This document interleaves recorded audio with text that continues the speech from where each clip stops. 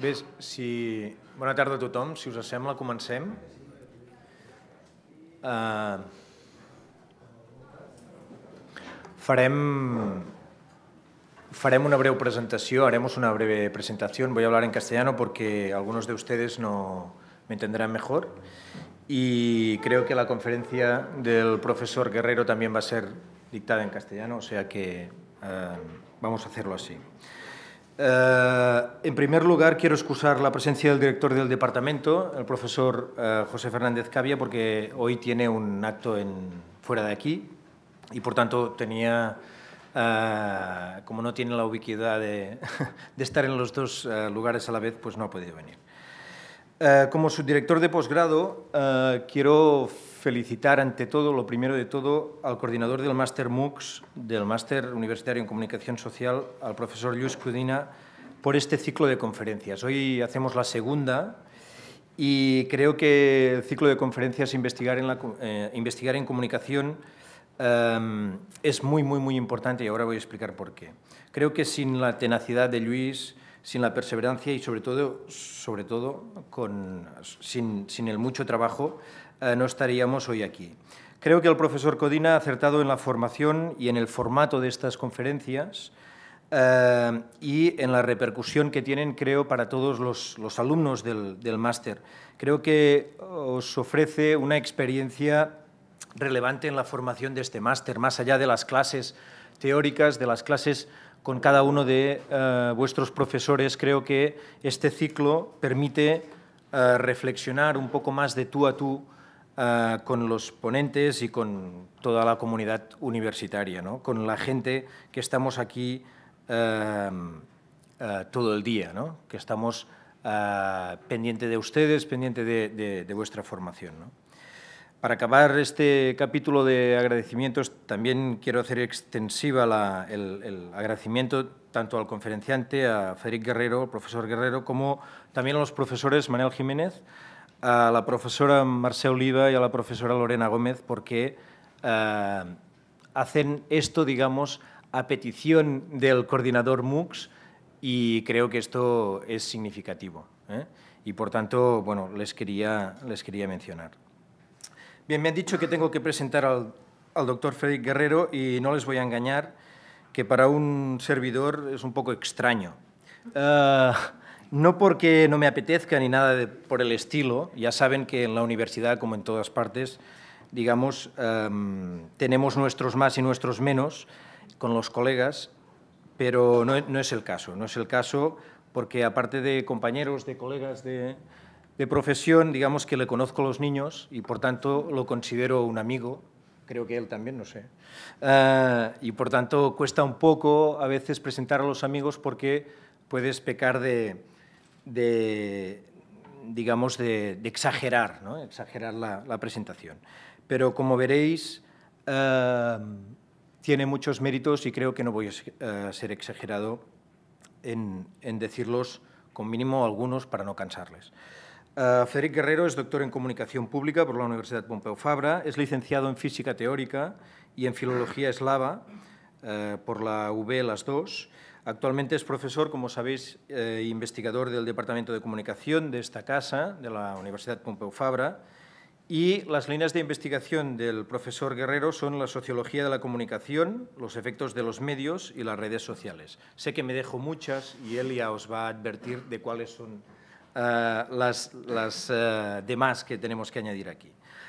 Pero aparte de los méritos mencionados, creo que he de añadir que el profesor Frederic Guerrero y esto no es muy académico, es un culo inquieto. ¿eh? Es un culo inquieto, creo, porque desde el punto de vista académico, porque eh, siempre está pensando en innovar, en, pensar cómo mejorar, digamos, la, praxis eh, investigativa y sobre todo la metodología. Hemos discutido mucho, y diría discutido, ¿no? más que hablado, sobre metodologías con Federic y, y creo que esto ah, lo hace un muy buen investigador porque se interroga constantemente y creo que es una de las tareas que debemos hacer todos los investigadores, interrogarnos sobre cómo hacemos aquello que investigamos, cómo hacer aquello que, queremos investigar. Y, por tanto, eh, esto creo que, nos permite darles a todos los alumnos del máster eh, un buen consejo, ¿no? que es que no paréis, no paren de, preguntaros, de interrogaros sobre eh, cómo se tienen que hacer las cosas, ¿no? interrogaros constantemente.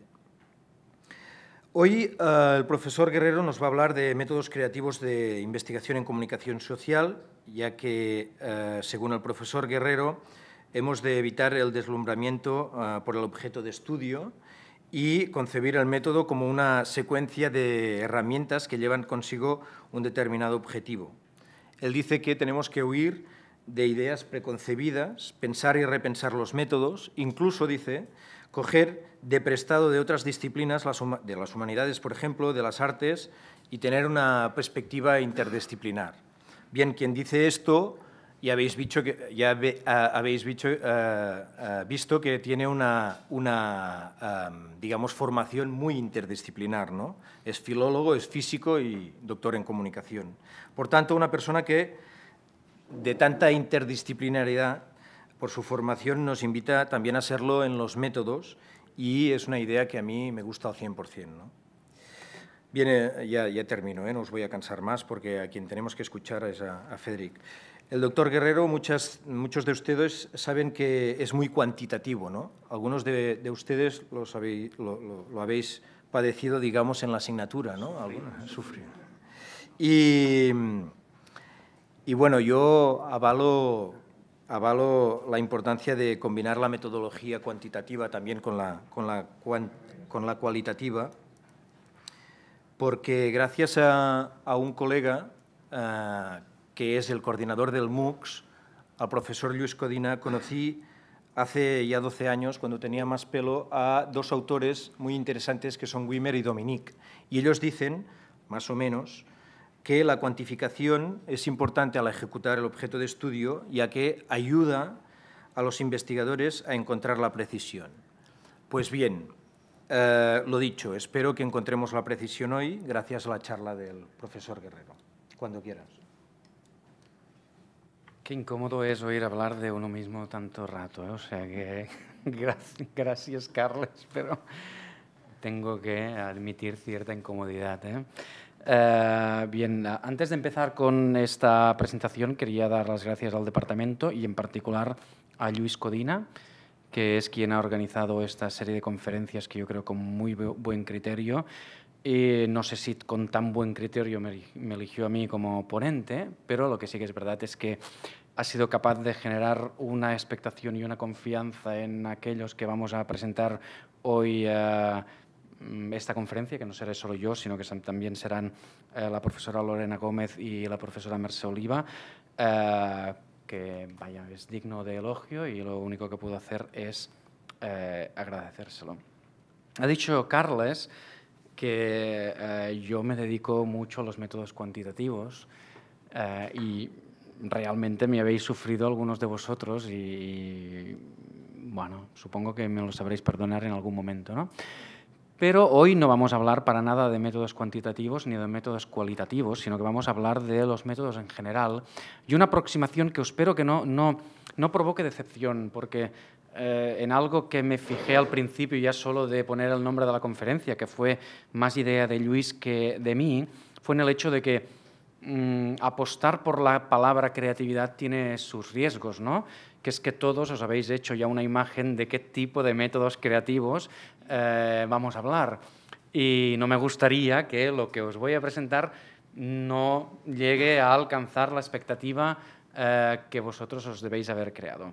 Bien, yo hablaré un poco, voy a hablar muy poco de mí, voy a hablar un poco de, de la historia de este departamento, cuando yo entro como ha dicho Carles, yo vengo de disciplinas muy diferentes, primero de, una, de física teórica, luego de filología, entro en el departamento de comunicación eh, en 2006 cursando el doctorado, en una situación a todos los niveles absolutamente invertida de la que vivimos hoy, ¿no? tanto a nivel económico, evidentemente, ¿no?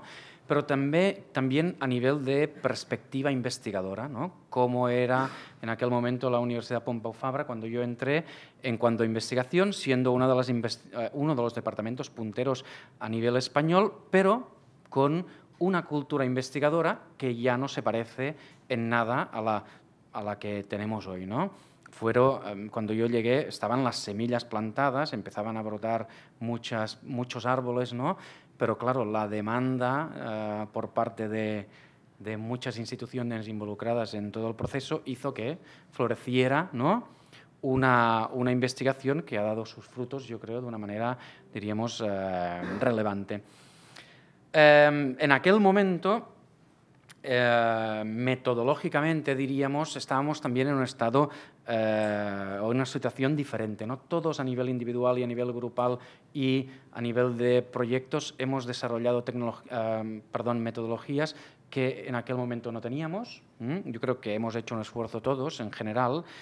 Y yo querría exponer más o menos este camino y presentar algunas uh, propuestas de lo que pueden ser métodos creativos, pero más que nada romper algunas barreras.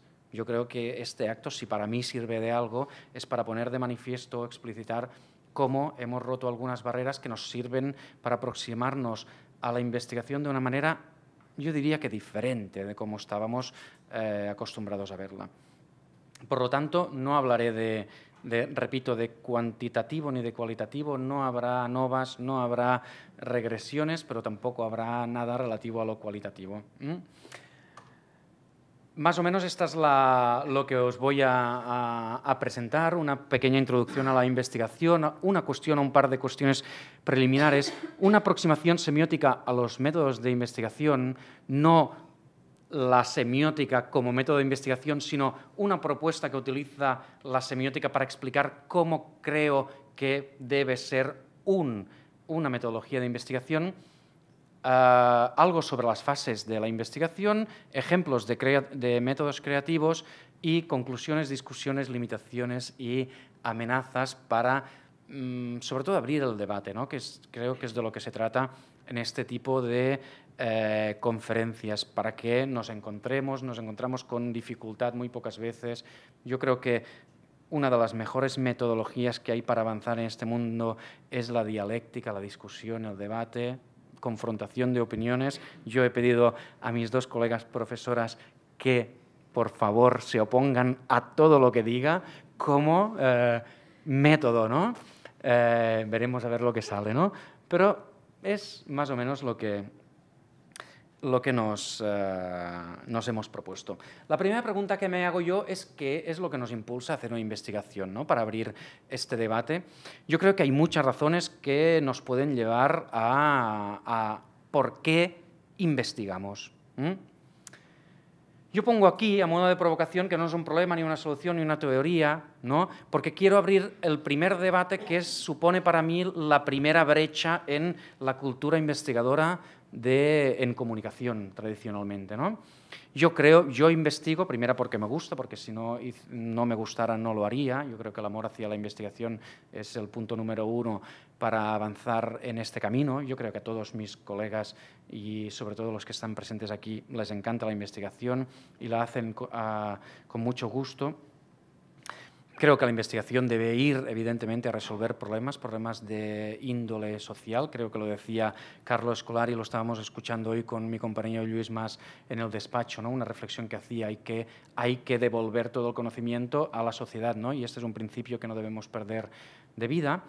Pero lo que yo quería presentar en esta primera uh, pregunta es esta cultura que más o menos hemos heredado y que yo voy a poner en debate, de dejarnos seducir excesivamente y deslumbrar por el objeto de estudio. Y es algo que uno se encuentra de manera reiterada y repetitiva en eh, los alumnos de máster, en los alumnos de cuando hacen un trabajo final de grado o cuando eh, están frente a la tesis doctoral. ¿no? Y es yo ya tengo objeto de estudio. y el objeto de estudio en comunicación audiovisual, en periodismo y en publicidad es particularmente seductor.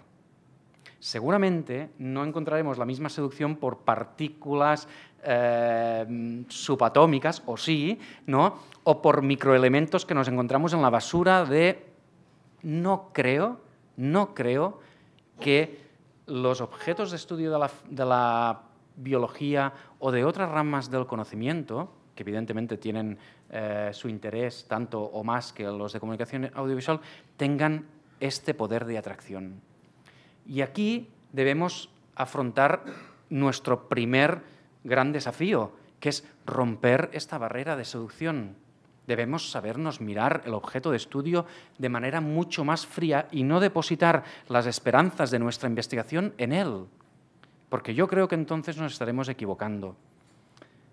Cuando tú observas el objeto de estudio como tu eh, fuente preferente a la hora de investigar, tus preguntas de investigación acostumbran a ser generales, poco concretas, empezando, y eso lo digo mucho a, mis alumnos, ¿no? por el cómo. ¿Cómo se hace esto o cómo surge esto? ¿Mm? Evidentemente, además, la fijación excesiva en este objeto de estudio hace perder de vista prácticamente todo el proceso de comunicación en su integridad, ¿no? tanto desde la emisión hasta uno de los aspectos en los que yo voy a insistir más, que es la recepción.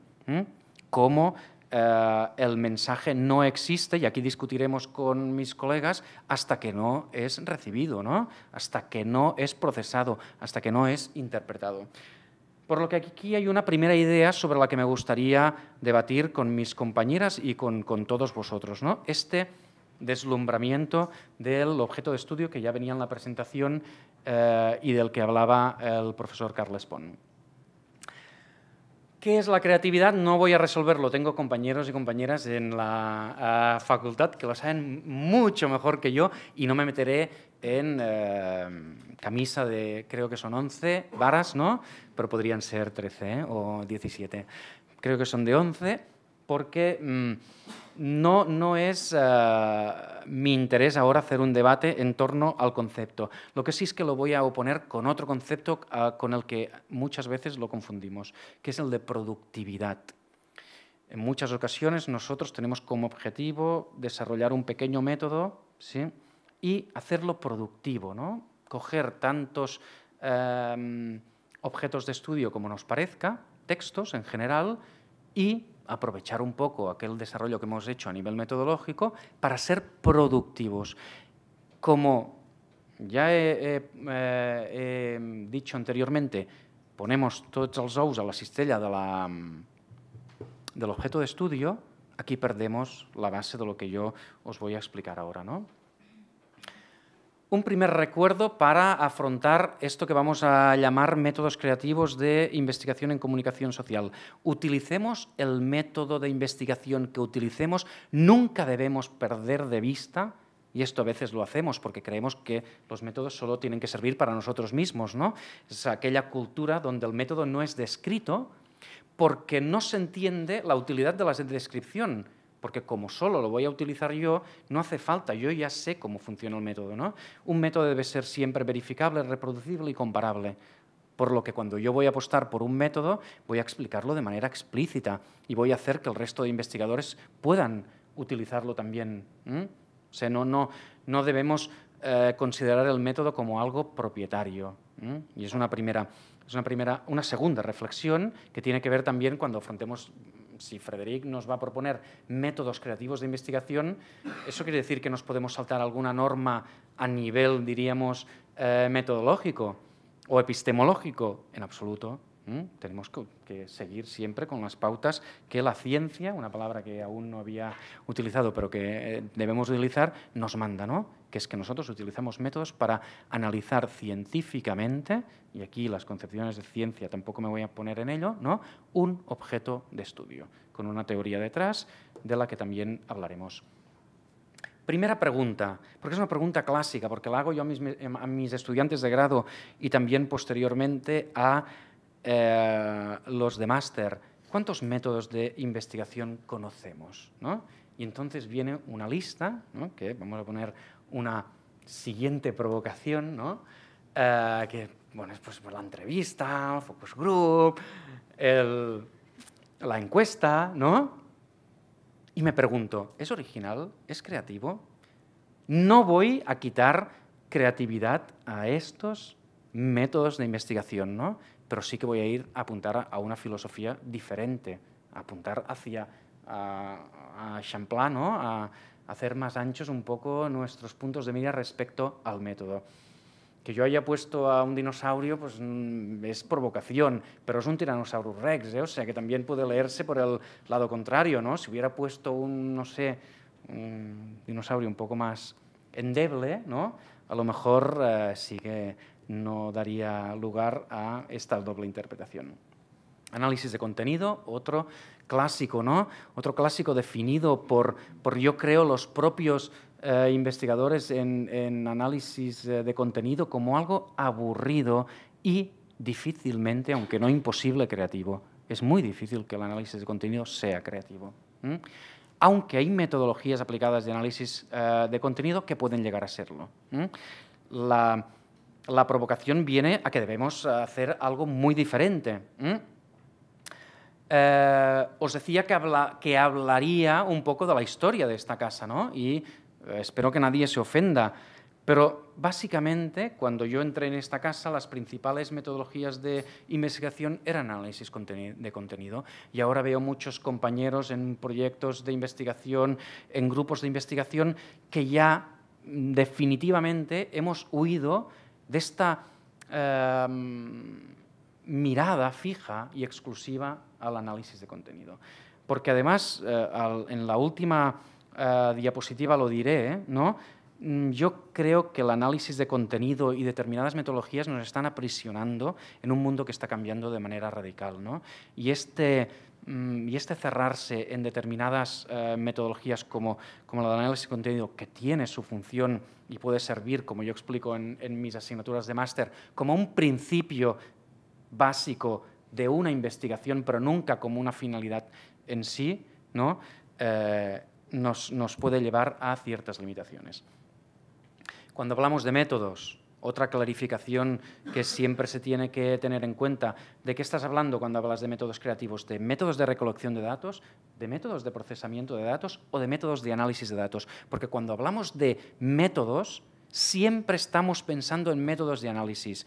Entonces alguien levanta la mano y, dice, no, no, usted utiliza la, entrevista como método de análisis cuando como primer, en un primer paso es un método de recolección de datos. Luego ya verá usted qué método de análisis utilizará, sea cualitativo o cuantitativo, porque evidentemente iré aquí un poco contra el discurso de la exclusividad cualitativa o cuantitativa de un método, la recolección de datos vía eh, entrevista puede ser posteriormente analizada tanto por eh, métodos cuantitativos como por métodos cualitativos. Normalmente será mediante métodos cualitativos de análisis de contenido, que es lo que eh, os he hablado anteriormente. Otra de las reflexiones, ¿no? Romper un poco la barrera. Si tu método tiene un, nombre, no, no, no, os lo toméis como algo general, ¿eh? sino como, algo propio solo de esta, de esta, presentación. Si tu método tiene un nombre, eh, tienes un problema. En el sentido de que, ¿qué método utilizas tú para tu investigación en la tesis? Yo utilizo la encuesta. Vamos mal. Y de hecho diría que vamos muy mal. ¿sí? Porque no puedes eh, solo interpretar o ver tu método como una única y, una única y exclusiva cosa ¿sí? o herramienta a través de la cual tú vas a, a investigar. Un pequeño paréntesis para mostrar cómo yo enfocaría la, o qué aproximación haría yo a los métodos creativos de investigación. Os hago una pregunta. ¿Mataríais a un dragón con vuestros dedos? No. De la primera cosa de la que debemos huir es de hacer cosas de manera manual ¿qué podamos hacer de otra manera? Y aquí hay una tercera idea que diríamos debemos romper de manera definitiva. Estamos ante un mundo tecnológico que nos está pidiendo que seamos creativos, pero que sobre todo seamos creativos a la hora de eh, apropiarnos de la tecnología como herramienta básica de análisis y podemos continuar con la idea de que podemos hacer esto a mano. ¿no? Por lo que una primera fase en, la adopción de un método para una investigación, y estoy hablando de investigación de una tesis o de un proyecto de, investigación algo más grande, es definir un poco cuáles van a ser las diferentes herramientas pensando en el método como un conjunto global. Segunda idea relacionada con, con esta, no hagas lo que las computadoras pueden hacer mejor que tú. Tenemos ya a disposición nuestra una gran cantidad de herramientas que nos permiten simplificar nuestra vida como investigadores. Sobre todo cuando vas al, análisis de contenidos como, primera herramienta, ¿no? pero hay muchísimas más que nos lo ponen un poco más fácil. Y si no las tenemos, y esta es una idea que a lo mejor eh, puede costar, pero que yo diría sobre todo a los jóvenes investigadores que no pierdan de vista, si no tenemos la herramienta, debemos ser capaces de hacerla nosotros mismos. Ya sé que para una cultura que procede mayoritariamente de las humanidades, plantearse un desafío como programar, ¿sí? algo que están haciendo el 80% de las facultades de comunicación del mundo, cada vez más, ¿no? Es, suena un poco como raro, ¿no? ¿Hacia dónde nos quiere, hacia qué terreno eh, nos quiere llevar Frederic? Pero creo que es una, mm, un horizonte que debemos contemplar, porque mm, podremos definir miles de métodos diferentes para abordar el análisis de cualquiera de los objetos de, eh, estudio que, nosotros, eh, que se nos presenten una primera idea de lo que sería un proto método creativo, ¿no? que no era un método creativo, pero que explica la historia y eh, Lorena, Carles, eh, Manel eh, y, Mercé y muchos de vosotros estabais en estas investigaciones. ¿no? Hace 10 años grabábamos en vídeo lo que nosotros hacíamos para nuestros proyectos de investigación. 10 años solo. Alguien tenía que coger ¿sí? sus cintas y las guardábamos en un armario, en, en, la OPA, ¿no? Y, clac, y programarlo, y a veces eh, fallaban, y a veces dejaban de funcionar, y se rayaban, y, y, tenías que inventarte en tu texto para el artículo ¿no? algo que no fuera toda la verdad, pero que no fuera ninguna mentira, que es que tenías la muestra completa, ¿no? Pero la muestra completa no, y resulta que te habías equivocado de canal y habías grabado otro. La casuística aquí es, es eh, prácticamente eh, infinita. ¿no? Eh, un día estábamos haciendo con, nuestra compañera Vapujadas eh, un proyecto de este tipo y decidimos que haríamos algo diferente, ¿no? que es automatizar vía codificación, una codificación muy sencilla en un archivo TXT con código MS2, dos líneas de MS2, pues codificaríamos un programita que hiciera solo lo que nosotros hacíamos manualmente, ¿no? En esta idea de no hagas tú lo que los robots puedan hacer, ¿no? Y entonces decidimos hacer con, con Ibai eh, eh, López eh, este pequeño programa que luego publicamos en un artículo de EPI, que no nos va a citar nunca nadie porque es muy raro, ¿no? como decía eh, Carles antes de Frederic, ¿no? Es que es muy raro presentar a Frederic, ¿no? Y Salvador decía, ¿está diciendo raro a, presentar o, o, que era raro yo, ¿no? Y yo creo que las dos cosas sirven. Bien, la idea es esta, ¿no? Pensar en un método desde la perspectiva de la semiótica narrativa. Una de las grandes o de los grandes métodos que nosotros hemos aprendido en esta casa. ¿eh? Eh, sí, había un momento en doctorado donde aprendíamos dos grandes métodos, que era universos posibles, por decirlo de alguna manera, con eh, Jordi Pericot, y um, semiótica narrativa con Xavier Ruiz Collantes. ¿no? Y este, estos eran nuestros métodos, unos métodos tan válidos como cualquier otro. ¿no? Y pensé, bueno, yo ya no utilizo esta metodología, aunque como, análisis de, como metodología de análisis contenido es muy potente y es muy buena. Pero pienso, debemos tener en cuenta debemos saber narrar nuestra investigación, ¿no? Y para mí la mejor forma de narrarla es utilizando este, esta visión estructuralista en la semiótica narrativa, donde nosotros somos los héroes de esta historia, donde debemos matar un dragón, que seguramente es llegar al final de nuestra investigación con los resultados eh, obtenidos, ¿no? Y cómo en el camino, que somos mm, héroes de, de Paso Catamboli, ¿no? que no, no, tenemos ni armadura, ni espada, ni pócimas, ni ninguna eh, globo, ni ninguna nube Kingdom, ¿no? Eh, cómo debemos ir cogiendo diferentes métodos y metodologías que muchas veces nos encontraremos por el camino porque los héroes se encuentran cosas por el camino, algo que no debemos perder de vista, y cómo luego lo vamos a utilizar como nuestras propias eh, herramientas. Por lo que yo lo que propongo es una metodología creativa, sobre todo donde eh, la, la, investigación se haga por fases, donde se vaya más allá de la triangulación, donde la, eh, el método sea lo máximo de heterogéneo posible. Hay que concebir el, el, método como no algo homogéneo, como os decía yo antes. ¿no? Eh, voy a hacer mi método de investigación va a ser la encuesta. ¿Sí? Y respiras hondo, ¿no? Por decir, hago una reflexión, no está mal, ¿no? Porque hemos avanzado mucho en esta visión todos en conjunto de cómo debemos aplicar los métodos a la investigación en comunicación social, ¿no? Desde métodos más rudimentarios hasta métodos complejos eh, como los que utilizamos ahora mismo. ¿no? Pero hay que pensar con métodos mezclados, métodos heterogéneos, métodos que van más allá de la triangulación y una idea básica que os voy a presentar aquí, que quizá sea la, donde está el core de, eh, de, de lo que os quiero decir. ¿no? Concebir la investigación como una secuencia de acciones controladas sobre las cuales se aplican métodos diferentes. ¿sí? Esto de acciones controladas quiere decir yo voy a ver cómo voy a pervertir a mi objeto de estudio, cómo voy a jugar con el texto, cómo voy a jugar con, el receptor, porque son dos de, eh, de, los elementos del proceso de eh, comunicación con los que puedo jugar bien, ¿sí?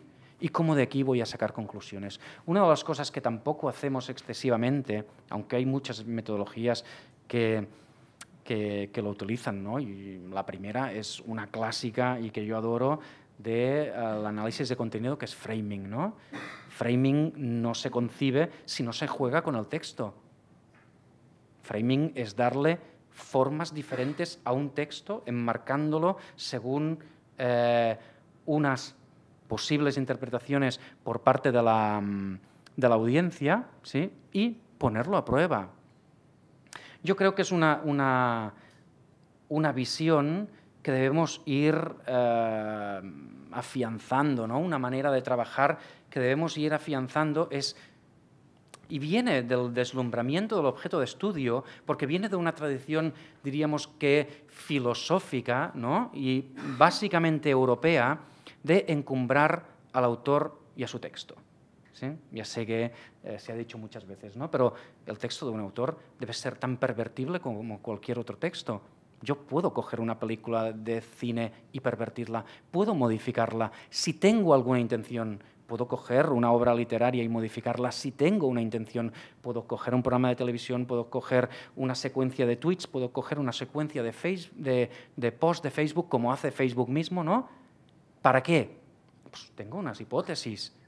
Aplico un método sobre un objeto controlado, ¿sí? lo que os decía aquí, una secuencia de acciones controladas, y juego con la audiencia y juego con eh, el texto.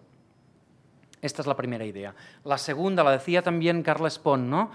algo que tampoco debemos no diría que no tenemos la, cultura, porque comunicación como disciplina se ve obligada a coger métodos de otras disciplinas, porque no tiene o tiene muy pocos métodos que pueda considerar como propios. ¿sí? La comunicación es algo que siempre hemos reflexionado. ¿no? ¿Cuáles son los métodos propios? Y vamos normalmente a teorías y a métodos de la psicología, de la antropología, de la lingüística, ahora ya cada vez más de la tecnología en el sentido de la informática o las matemáticas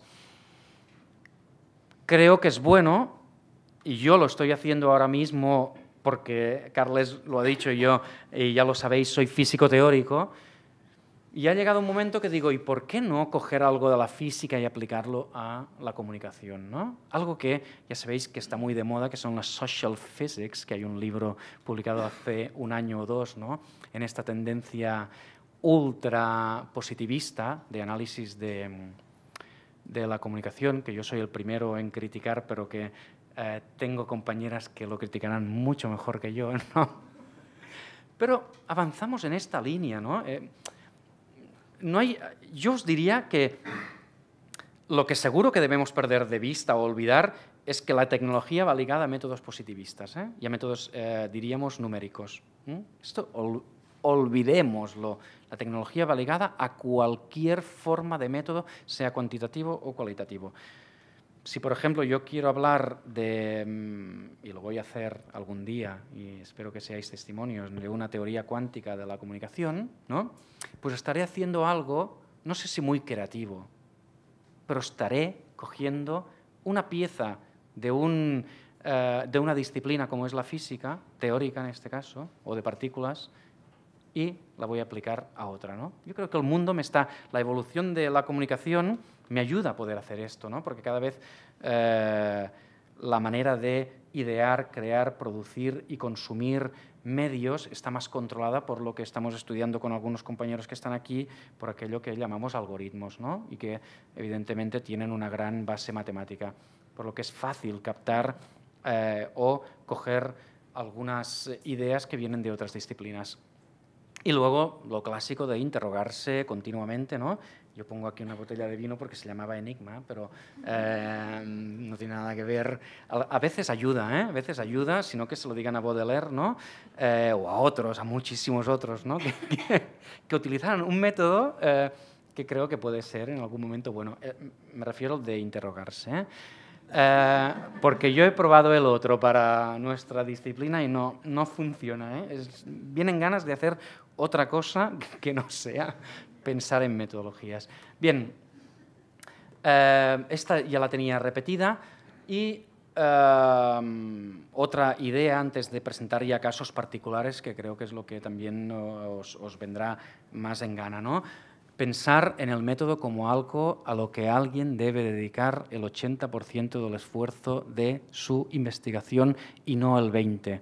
Eso es lo típico que te dicen en una empresa. ¿no? Cuando trabajas en una empresa te dicen, cuando tienes un proyecto, la fase de ejecución, que es la final, es un 25%. No lo olvides. Primero tienes que hacer el proyecto, desarrollarlo, discutirlo, darle forma, luego otra vez discutirlo, darle otra forma. ¿sí? Nosotros, yo creo que un poco infectados por este poder de seducción del objeto de estudio que nos está diciendo todo el rato, ¿sí? Eh, investígame, investígame, por favor, ¿no? Nos está llamando a la investigación, olvidamos que el método es algo a lo que debemos dedicarle muchísimo, muchísimo más tiempo.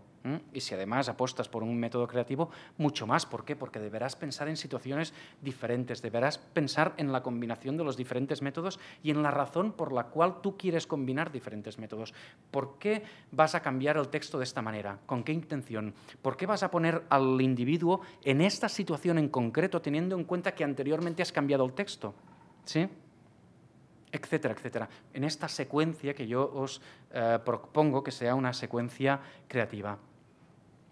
Una de las ideas básicas que yo creo que eh, nos puede ayudar a esta creatividad en los métodos eh, de investigación, poner a los individuos en situaciones de la vida cotidiana, algo que también muchas veces perdemos de vista.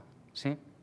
La mayoría de, las investigaciones que diría yo con métodos creativos que me he encontrado y de las que os hablaré, eh, hacen esto. Ven, identifican un problema, que es un problema social, como los accidentes de tráfico, y ponen a los individuos, accidentes de tráfico diríamos que es un problema a resolver, ¿verdad? Y que pocas veces nosotros como investigadoras en comunicación nos proponemos que es nuestra misión, ¿no? Pero puede ser nuestra misión, ¿sí? Y de hecho es una de nuestras misiones, pues poner a los individuos en situaciones de la vida cotidiana, tantas como haya y como problemas nosotros podamos identificar que debemos resolver. ¿sí? Otra, em, ya para ejemplos particulares, ¿no? Otro caso eh, de, de lo que puede ser métodos de investigación creativos la autoetnografía, la autodescripción, a través de la utilización de herramientas tecnológicas. Ya veis que huyo muchísimo de lo positivista y de lo eh, cuantitativo, ¿no? en este caso, y es una de las eh, experiencias en investigación más creativas y que está dando más fruto actualmente. Definir una investigación a partir de la vivencia de uno mismo utilizando, como veis aquí, eh, un teléfono móvil como selfie. ¿no? El selfie, ¿sí? una cosa que eh, muchos eh, podemos eh, relacionar con el narcisismo, pero algunos pueden relacionar con una chica que el otro día estuvo a punto de matarse, como otras mil mm, o miles de personas han estado a punto de matarse en diferentes lugares del mundo intentando, intentando hacerse una selfie. ¿no? ¿Nos puede evocar estos casos donde hay una problemática clara, investigaciones que ayuden a prevenir que la gente pueda morir por el hecho de estarse haciendo una fotografía él mismo, y ahora me salto la autoetnografía, evidentemente. Este es el tipo de cosas que nosotros podemos intentar em, abarcar. ¿no? Y luego, algo que particularmente me gusta y que se parecerá mucho a lo que yo he hecho, que es hacer eh, métodos carismáticos. Quiere decir, aplicar métodos que en principio están pensados para unas eh, disciplinas o ciencias a otras, ¿no? Y yo creo que las humanidades digitales aquí nos están dando una muy buena lección de aplicación de métodos digitales y tecnología muy potente, porque detrás hay gente con una capacidad para programar, para procesar datos potentísima, pero que tiene un objetivo muy diferente del que puede tener un broker de, de bolsa, a pesar de que sabe hacer lo mismo. ¿eh? ¿Sí? Y hacia aquí diríamos que es un poco hacia donde deberíamos ir. ¿no? Esta es una investigación que algunos de vosotros conoceréis, que es aplicar el análisis de social networks, algo que hago yo, a las novelas y obras de teatro de Shakespeare. ¿Mm?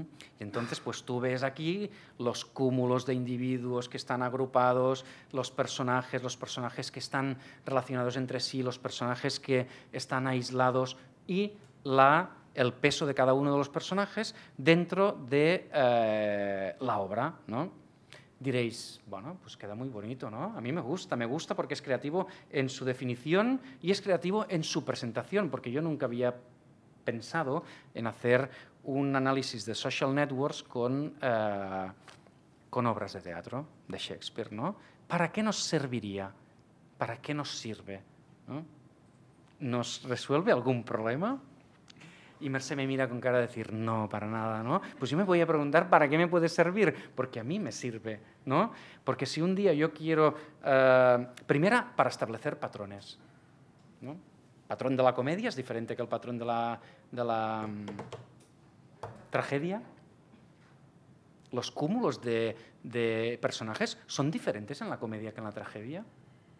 ¿Hay más personajes centrales en la comedia que en la tragedia? ¿Hay grupos aislados en uno u otro? ¿Puedo definir comedia y tragedia no por el contenido, sino a través de la forma que acaba teniendo la red social formada por sus eh, personajes? Yo qué sé, yo no lo he hecho, ¿eh? pero eh, puedo preguntarme si puede ser verdad. Imaginaos que encontramos que sí que comedia y tragedia son fundamentalmente diferentes en la distribución de personajes. Tenemos algo, yo tengo algo porque como quiero eh, escribir una tragedia, ¿no? la tragedia eh, del investigador en comunicación social, ¿no? que podría ser un buen título para una mala obra, eh, pues ya sabría por dónde empezar. ¿no? Y aquí os lo pongo. Por ejemplo, enlazarlo con teorías clásicas de, las redes sociales. ¿no? no sé si lo conocéis o no lo conocéis, eh, un texto de 1960 y poco, 72, que es la fuerza de los eh, enlaces eh, débiles. ¿no?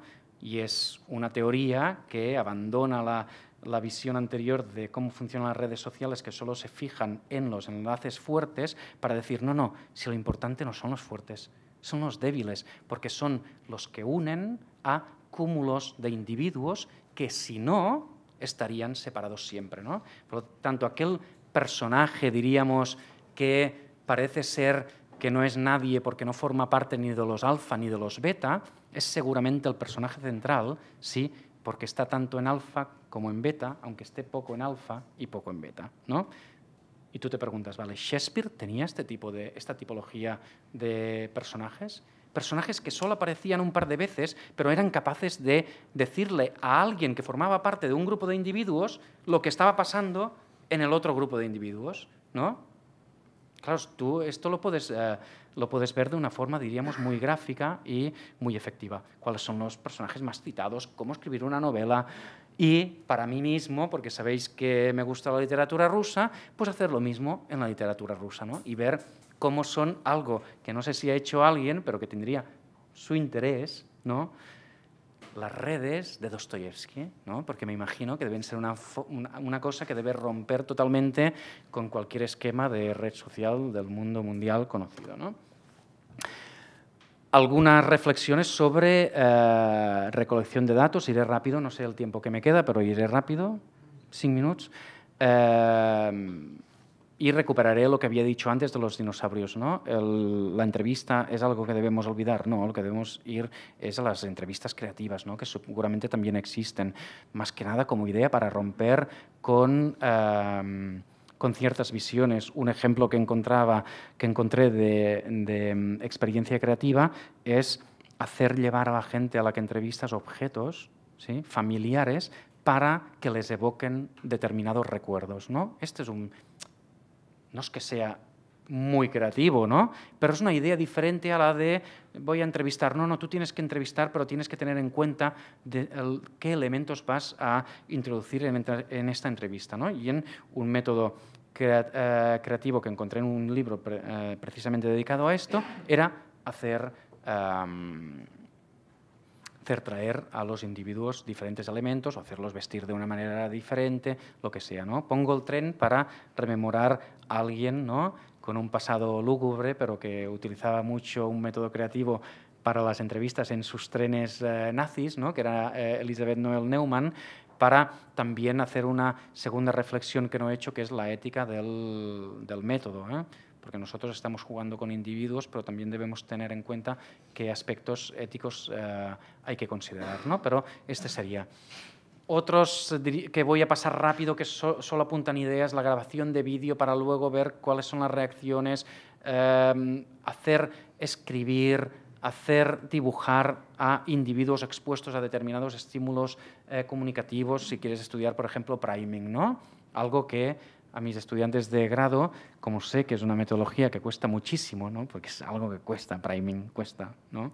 porque tiene una vertiente, diríamos, de psicología bastante dura, pues les digo que hagan experimentos con priming. ¿no? Y me parece que era ayer que unos alumnos estaban eh, exponiendo a unos niños de 5 años a mm, vídeos donde se mostraban diferentes modelos familiares y luego les hacían dibujar como respuesta, diríamos, algunos dibujos para ver si aquella descripción que había en el estímulo visual podía modificar de alguna manera a corto, a corto término ¿no?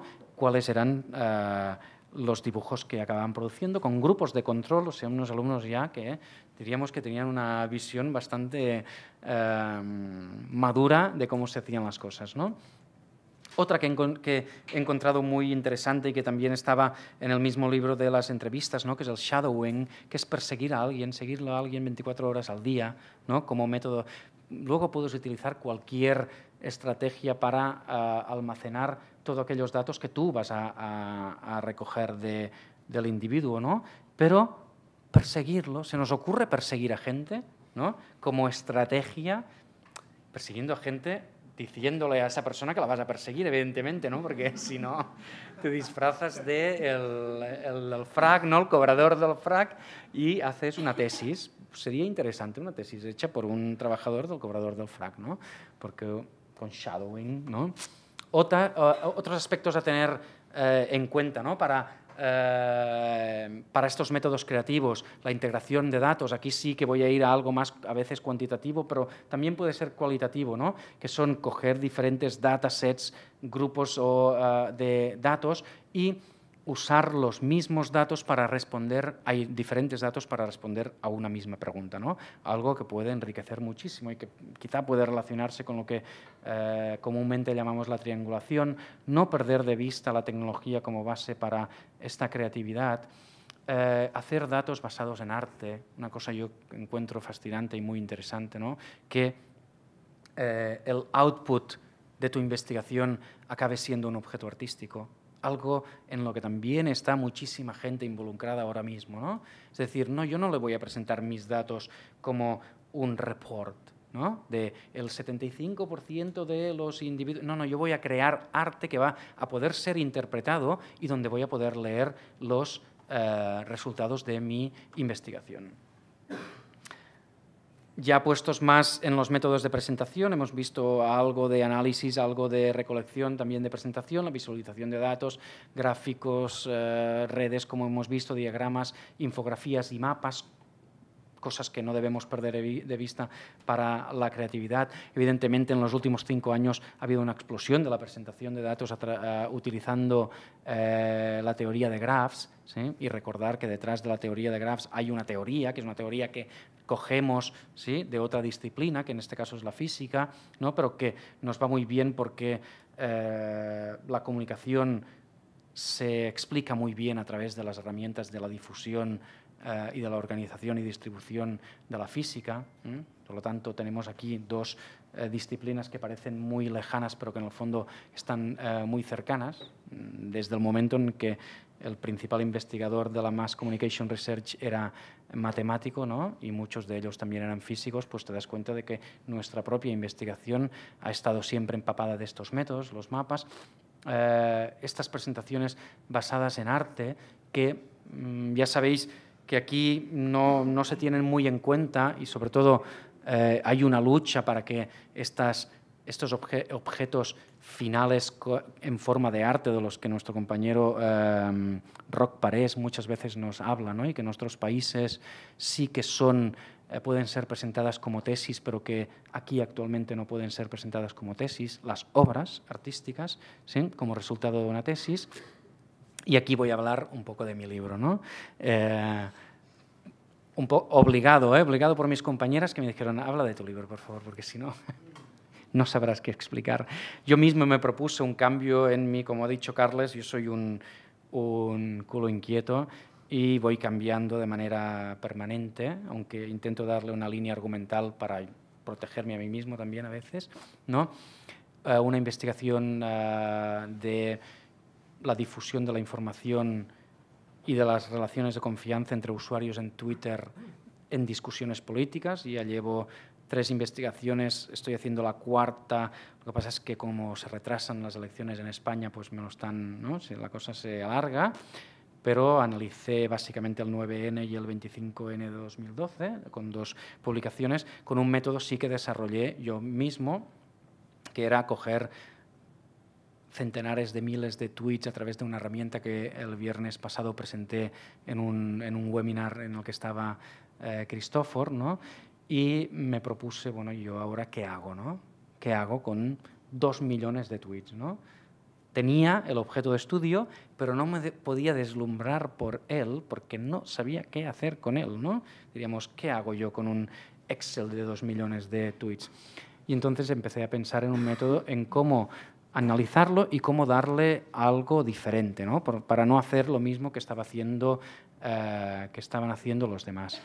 Em, evidentemente tuve que programar una base de datos, compleja yo creo, pero mi pasado me lo permitía, ¿no? y como pues, mi pasado me lo permitía, a veces eh, uno tiene un pasado raro, ¿no? y en este caso era raro, y me lo permitió, los analicé sobre todo teniendo en cuenta cuáles eran las actitudes de los usuarios en cuanto al retuiteo, ¿no? algo que siempre está en discusión de si retuiteamos o no, a los que confiamos o no confiamos y qué información a mí me podía dar a nivel político. Este era el resultado final, el outcome, que yo creo que cada vez mm, tiene mejor pinta, ¿no? Mm, y básicamente lo que descubre el método es que no la red directamente de retuiteadores, sino de los usuarios más retuiteados, esto lo he explicado alguna vez, ¿no? Cogemos los usuarios más retuiteados, que son los, que tienen más influencia en una red dentro de lo que podemos considerar influencia en Twitter. ¿no? Y decimos, bueno, vamos a calcular cuáles las comunidades, la gente que los retuitea. Y tengo mil usuarios y de cada uno de los mil cuento cuáles son los que los retuitean. Vale, pues entonces voy a ver entre ellos cuál es el solapamiento entre sus comunidades de retuiteadores. ¿no? Pues Mariano Rajoy y P popular, ¿no? tienen comunidades de retuiteadores seguramente muy similares. Vamos a ver si es verdad o no. Si nos comportamos de manera, diríamos, homofílica en este sentido, ¿no? Es decir, bueno, pues los que retuitean son los que están de acuerdo con todo esto, ¿no? El resultado es que sí, pero además eh, intenté ir un poco más allá, ¿no? De ver que a nivel numérico que me podía dar que yo pudiera eh, un poco relacionar con la realidad de la política catalana y española. Y ahora estoy haciendo esto lo mismo con eh, el 20D, el 2M, que es el día de Pedro Sánchez, ¿sí? de la investidura, y del de, eh, 26J. ¿no? Es interesante algunas de las cosas que puedes ver eh, utilizando estos métodos. No voy a ir más allá porque sé que no me queda tiempo, porque ves, tienes una condición experimental que difícilmente se da, que es 20D. Todos los partidos luchan entre sí. ¿Qué se ve? Polarización entre partidos. No hay usuarios de, que estén en cúmulos de otro partido. No hay usuarios de un partido que estén en cúmulos de otro. 2M cambia la cosa. ¿Por qué? Porque Ciudadanos se alía con el PSOE. ¿Veo, se refleja este cambio en la red que yo construyo? Sí. Se, aleja del Partido Popular Ciudadanos y un poco se difumina entre el principal cúmulo de eh, PSOE. 26J, ¿qué pasa? Otra vez, supongo, ¿no? porque es una hipótesis, aún no ha pasado, se reorganiza la política. ¿no? Y de aquí puedes extraer eh, muchas conclusiones de cómo se comportan no solo los partidos, sino los ciudadanos, ¿no? porque en este caso siempre es una información dada desde un tercer nivel. ¿Qué empecé a hacer con estas redes eh, que yo construía? Pues decir, ¿por qué solo voy a hacer las redes que surgen entre todos los mil o dos mil usuarios más influentes? ¿no? Y entonces me pregunté, ¿qué pasa si yo solo escojo a dos usuarios? ¿Mm? ¿Cómo se me organiza la red en torno a estos dos? Cojamos que son del mismo partido o de partidos diferentes. ¿sí? PP, PSOE, me sale esto. ¿sí? En lugar de dos, cuatro. ¿Qué me saldría? En lugar de cuatro, los cinco más eh, con mayor influencia. Y te salen unas redes, diríamos, que son fácilmente eh, identificables ¿no? y que te dan muchísima información de cómo nos comportamos en las redes sociales. ¿eh? No, salgo de aquí, no voy a eh, sacar resultados o conclusiones que vayan más allá. ¿no? Eh, sí, sí, está, está. bueno, otra, ¿vale?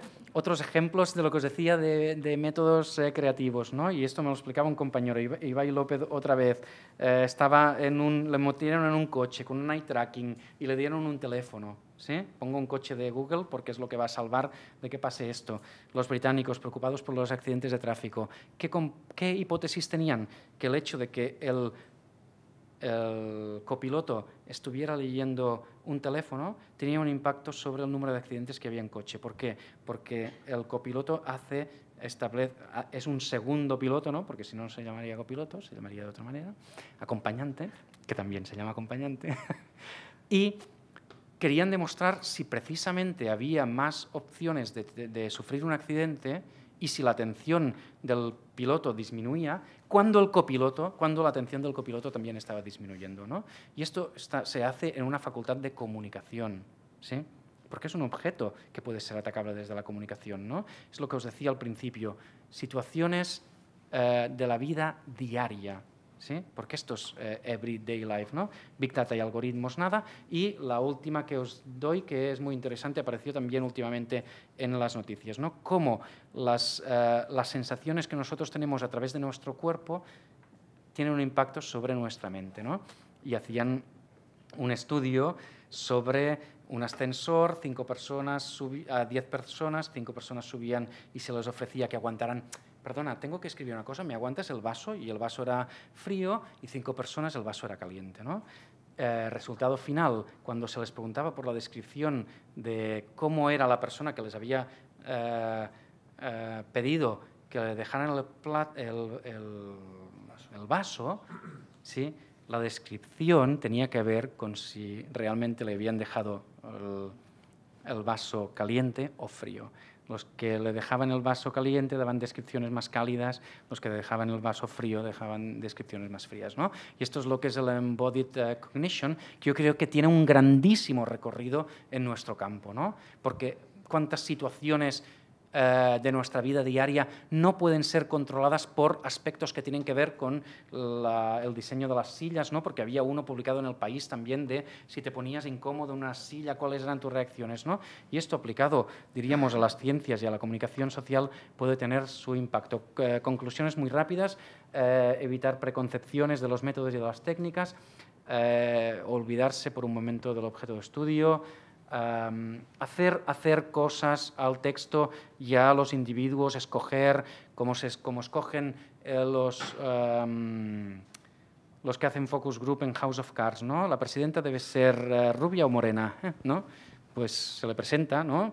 rubia, castaña o morena, y le dijeron a, a la mujer del presidente, lo sentimos, pero tienes que teñirte el pelo. ¿no? Pues es un poco esta la idea, ¿no? Hacer, hacer cosas constantemente a los individuos, no solo la, recepción en un sentido estático, seguir normas éticas, pero arriesgar en eh, creatividad, eh, pensar en estas, eh, estas cuestiones y jugar. Última, limitaciones y amenazas. Una limitación muy clara y, me gustaría hablar mucho de ella, pero no podré. Las limitaciones de recursos, porque muchas veces ser creativo en método necesita recursos económicos, recursos de tiempo y recursos humanos. ¿sí? Y desafortunadamente no disponemos, diría que casi de ninguno de los tres, ¿eh? como para afrontar una cosa, diríamos, con cara y ojos. Amenazas que sí que pondría eh, sobre la mesa y que creo que son alarmantes. Nuestro objeto de estudio puede ser canibalizado por otras disciplinas que están avanzando muchísimo en determinados campos, sobre todo tecnológicos. ¿no? Y aquí es una amenaza, amenaza, y esta es una amenaza real que nosotros debemos afrontar, en el sentido de que mmm, automatización, disculpad, de los análisis, propuestas creativas que vienen del mundo de las artes, que vienen del mundo de la tecnología, de la informática, de otros campos que, para los cuales, perdón, el objeto de estudio comunicación también existe. ¿sí? Y quizá no deslumbra tanto, pero es analizado de manera sistemática. ¿no? Nos encontramos muchas veces con aquello de, ah, y esto no lo han hecho los de publicidad o los de comunicación audiovisual, lo han hecho los de eh, TIC, ¿no? Y creo que es algo que debemos eh, un poco afrontar. Gracias por vuestra atención.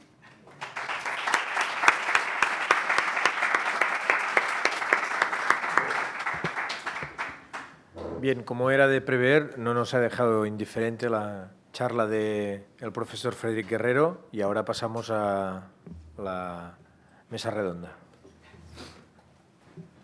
Gracias. Eh.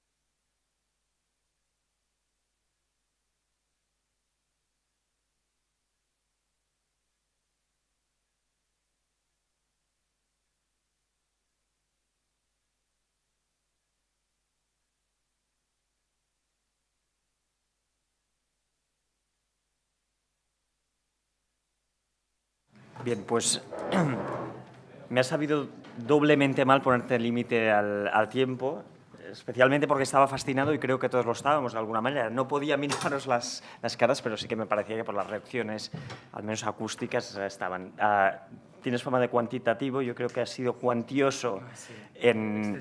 No, cuantioso en ideas ah, inspiradoras y además eran cualitativamente positivas, con lo cual mi enhorabuena y, mi gratitud también por, por, estar aquí. Antes de empezar decíamos que estábamos todos un poco nerviosos y es que no es fácil concentrar en tan poco tiempo las ideas que, que, surgen alrededor de un tema como la creatividad y la innovación en investigación, pero vamos a tratar de hacerlo y vamos a hacerlo con, ah, como ya sabéis, a Lorena Gómez, ah, que es profesora del departamento. Ella es especialista en opinión pública, en comunicación política, en valores sociales aplicados a, la, la comunicación en general y en muchas otras cosas. Le ocurre también como a Marcia Oliva, que es experta en estudios culturales, eh, estudios culturales análisis ah, de la telerrealidad, en Celebrity Studies, pero también te ocupas de, de, muchos otros temas. Si os parece, empezamos por Lorena, que creo que en el programa estaba así estipulado. Tenemos diez minutos y pasamos a Marcel. Gracias. Bien, en primer lugar, agradecer a, a Luis Cudina, coordinador del máster, y a mis compañeros por la confianza por el hecho de estar aquí, poder participar de una sesión que creo que es de, alto interés y que podremos recuperar en próximas, próximos cursos, sobre todo los que impartimos Frederic y yo como un ejemplo de, hasta dónde podemos avanzar en este debate sobre ah, los métodos y la investigación social desde un concepto que, como decía Frederic, nos sitúa a veces en un territorio ah, pantanoso, ¿no? que es el de la creatividad y que merece todo nuestro respeto.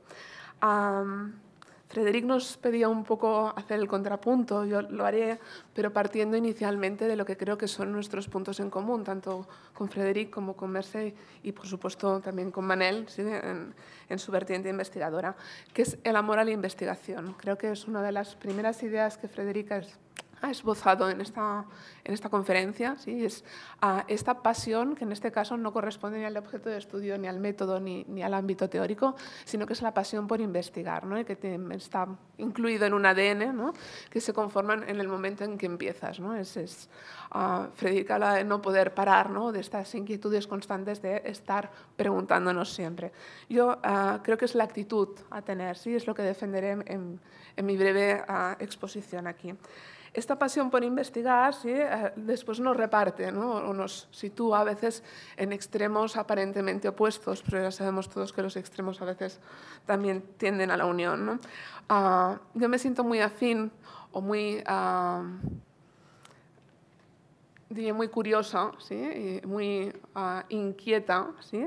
hacia esta vertiente que uh, Federica aporta al departamento cuando nos habla de la tecnología o cuando nos insiste en esta idea del transhumanismo. ¿no? Y decimos, muy bien, vámonos a ello. ¿no? Estas tecnologías que necesitamos, estos mundos que se nos abren, sobre todo para los que venimos de un ámbito más cualitativo o más manual pero ¿sí?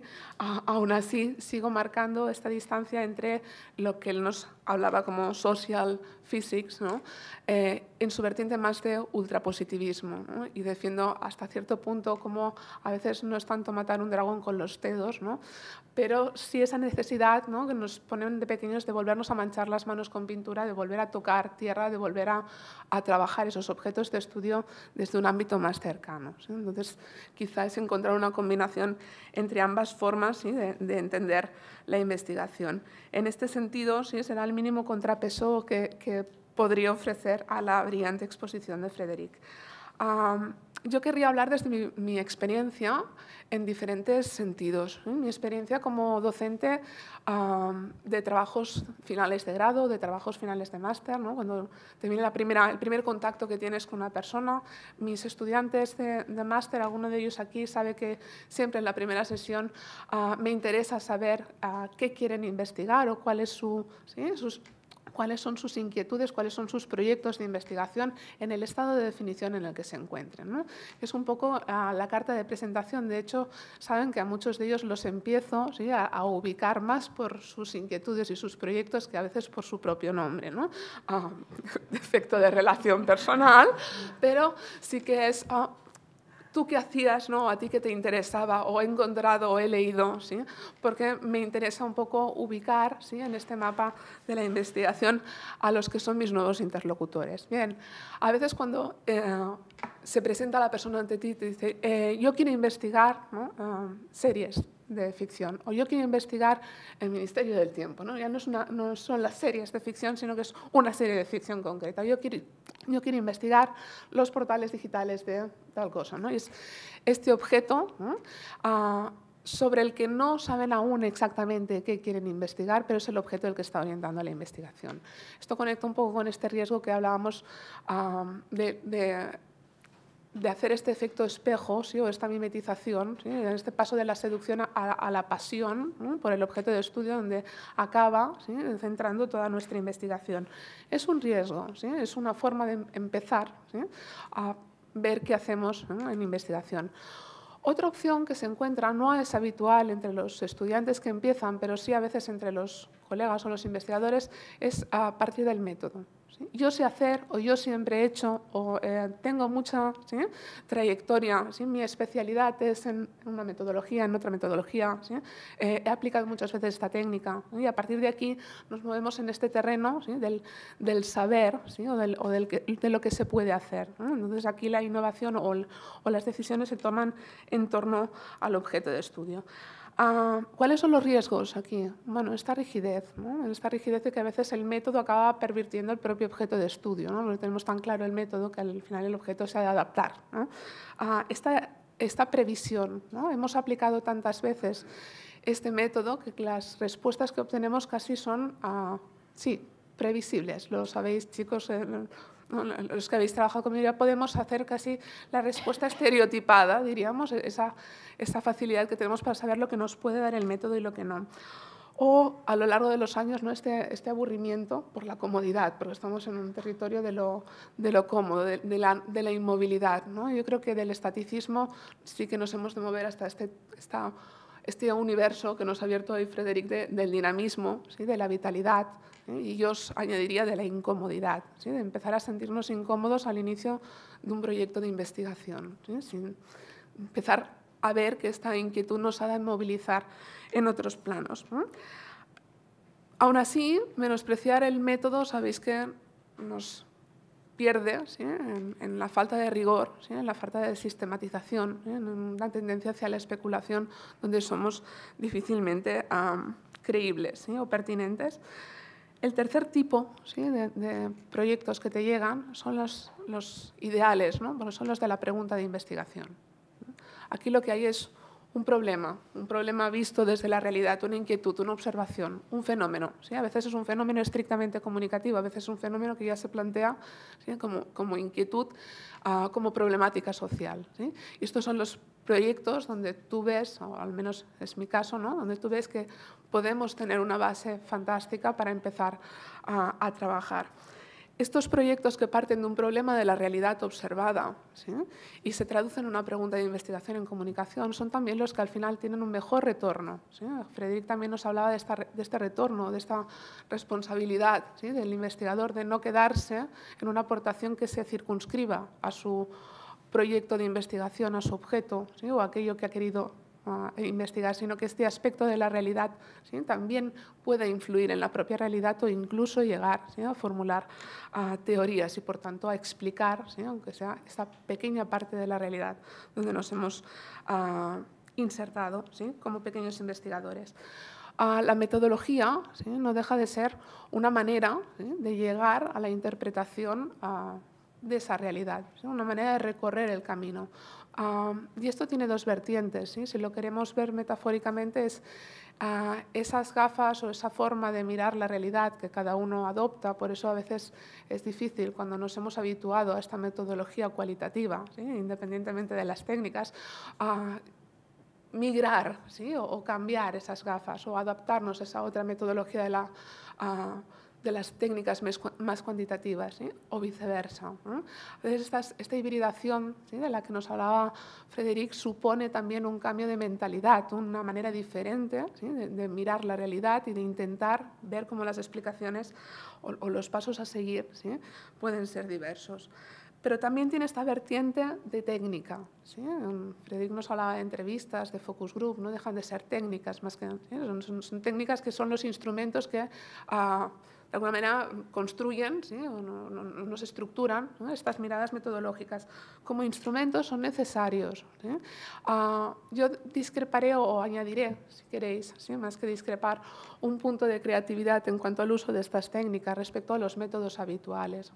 Una de las ideas que, mejor defendemos en el curso, aquellos que, que habéis compartido con, Oliver Pérez y conmigo docencia es que para poder apropiarse de un método necesitamos un recorrido que es casi natural. Primero conocerlo, poderlo definir, poder saber cuáles son sus utilidades, cuáles son sus limitaciones, comprenderlo y se comprende desde los fundamentos teóricos, se comprende desde aquella observación, aquella manera de explicar la realidad que nos ha dado un lugar a una lógica, ¿sí? y un contexto y, unas, y unos conceptos que se definen en unos parámetros determinados, en un contexto sociohistórico determinado, aunque luego el método perviva como manera de mirar ¿sí? otras realidades, pero sobre todo aplicar. lo que intentamos es experimentar, jugar, ver las posibilidades de un método, contrastar un método con otro. Yo creo que esta es una de las cosas que en mi caso agradecería de mi trayectoria anterior o o inicial sea en el departamento como becaria. Cuando empiezas a participar, nos ha pasado un poco a todos, ¿no? de, múltiples proyectos donde a veces el objeto de estudio no te interesa para nada, donde a veces la metodología te viene de nuevo, ¿no? o, ni siquiera tienes muy claro uh, que estas preguntas de investigación fuesen las que tú te hubieses planteado ¿eh? en las mismas circunstancias. Y en cambio lo que adquieres es una grandísima experiencia ¿eh? de ver estas correlaciones eh, de lo que implica un proceso de investigación, pero sobre todo de poder probar metodologías y de poder saber hasta dónde llegan, ver ¿sí? cosas que no harías normalmente. Creo que esto, ah, y no quiero extenderme mucho más, es algo que Frederick también ha reflejado al final de su exposición, estos hándicaps o estos, estos límites. ¿no? ¿no? tenemos tiempo, no tenemos recursos económicos, no, no, nos concedemos a veces tampoco estos lujos. Yo creo que sobre todo cuando, cuando se empieza el poderse conceder eh, el tiempo de la experimentación, de las preguntas, del poder ir hacia adelante y hacia atrás, de, poder saber que nos hemos equivocado, pero que también esto nos ayuda a ver nuevas formas de mirar las realidades, ah, puede ser de interés. Este tiempo tampoco es habitual en la los profesionales de la investigación, si es que nos tenemos que, denominar así, ¿no? en, un departamento que se dedica a la, investigación. Tampoco contamos con recursos ni económicos ni, ni humanos, ni, ni, este tiempo, ¿sí? pero yo creo que sí que debemos encontrar la manera de capear a otros hándicaps que nos vienen a veces implementados por la necesidad de la productividad de la investigación o esta, estos campos de fuerza, ¿sí? de poder tal como lo definiría Bourdieu, en que la economía, la cultura, la tecnología ¿sí? pueden ser jugadores a favor, pero también son jugadores que presionan ¿sí? y nos orientan y parece que marcan unos caminos que son los legítimos y otros que ah, han de quedar marginalizados de toda opción. Ah, hay que ir con cuidado con estos debos o estos puedo hacer. ¿no? Y, eh, son igual de arriesgados que estos quieros, ¿eh? de los que hablábamos cuando nos apasionamos por los objetos de estudio. Me... Lorena, discúlpame, disculpa sí. que te interrumpa, casi propongo, por, por, la hora que es y dado que sí. hemos prolongado el, el, inicio de la sesión, interrumpir aquí, no sé si... Uh -huh. Sí, no hay no, problema. No te importa, ¿eh? Sí. Y eh, pasamos a Marcé y después recuperamos okay, aquellos uh, elementos que nos hayan quedado uh, pendientes en, en la sesión de preguntas. Muy bien, entonces empiezo yo. Bueno, hola a todos. Um, a mí me pidieron que poli polemizara un poco, ¿no? Eh,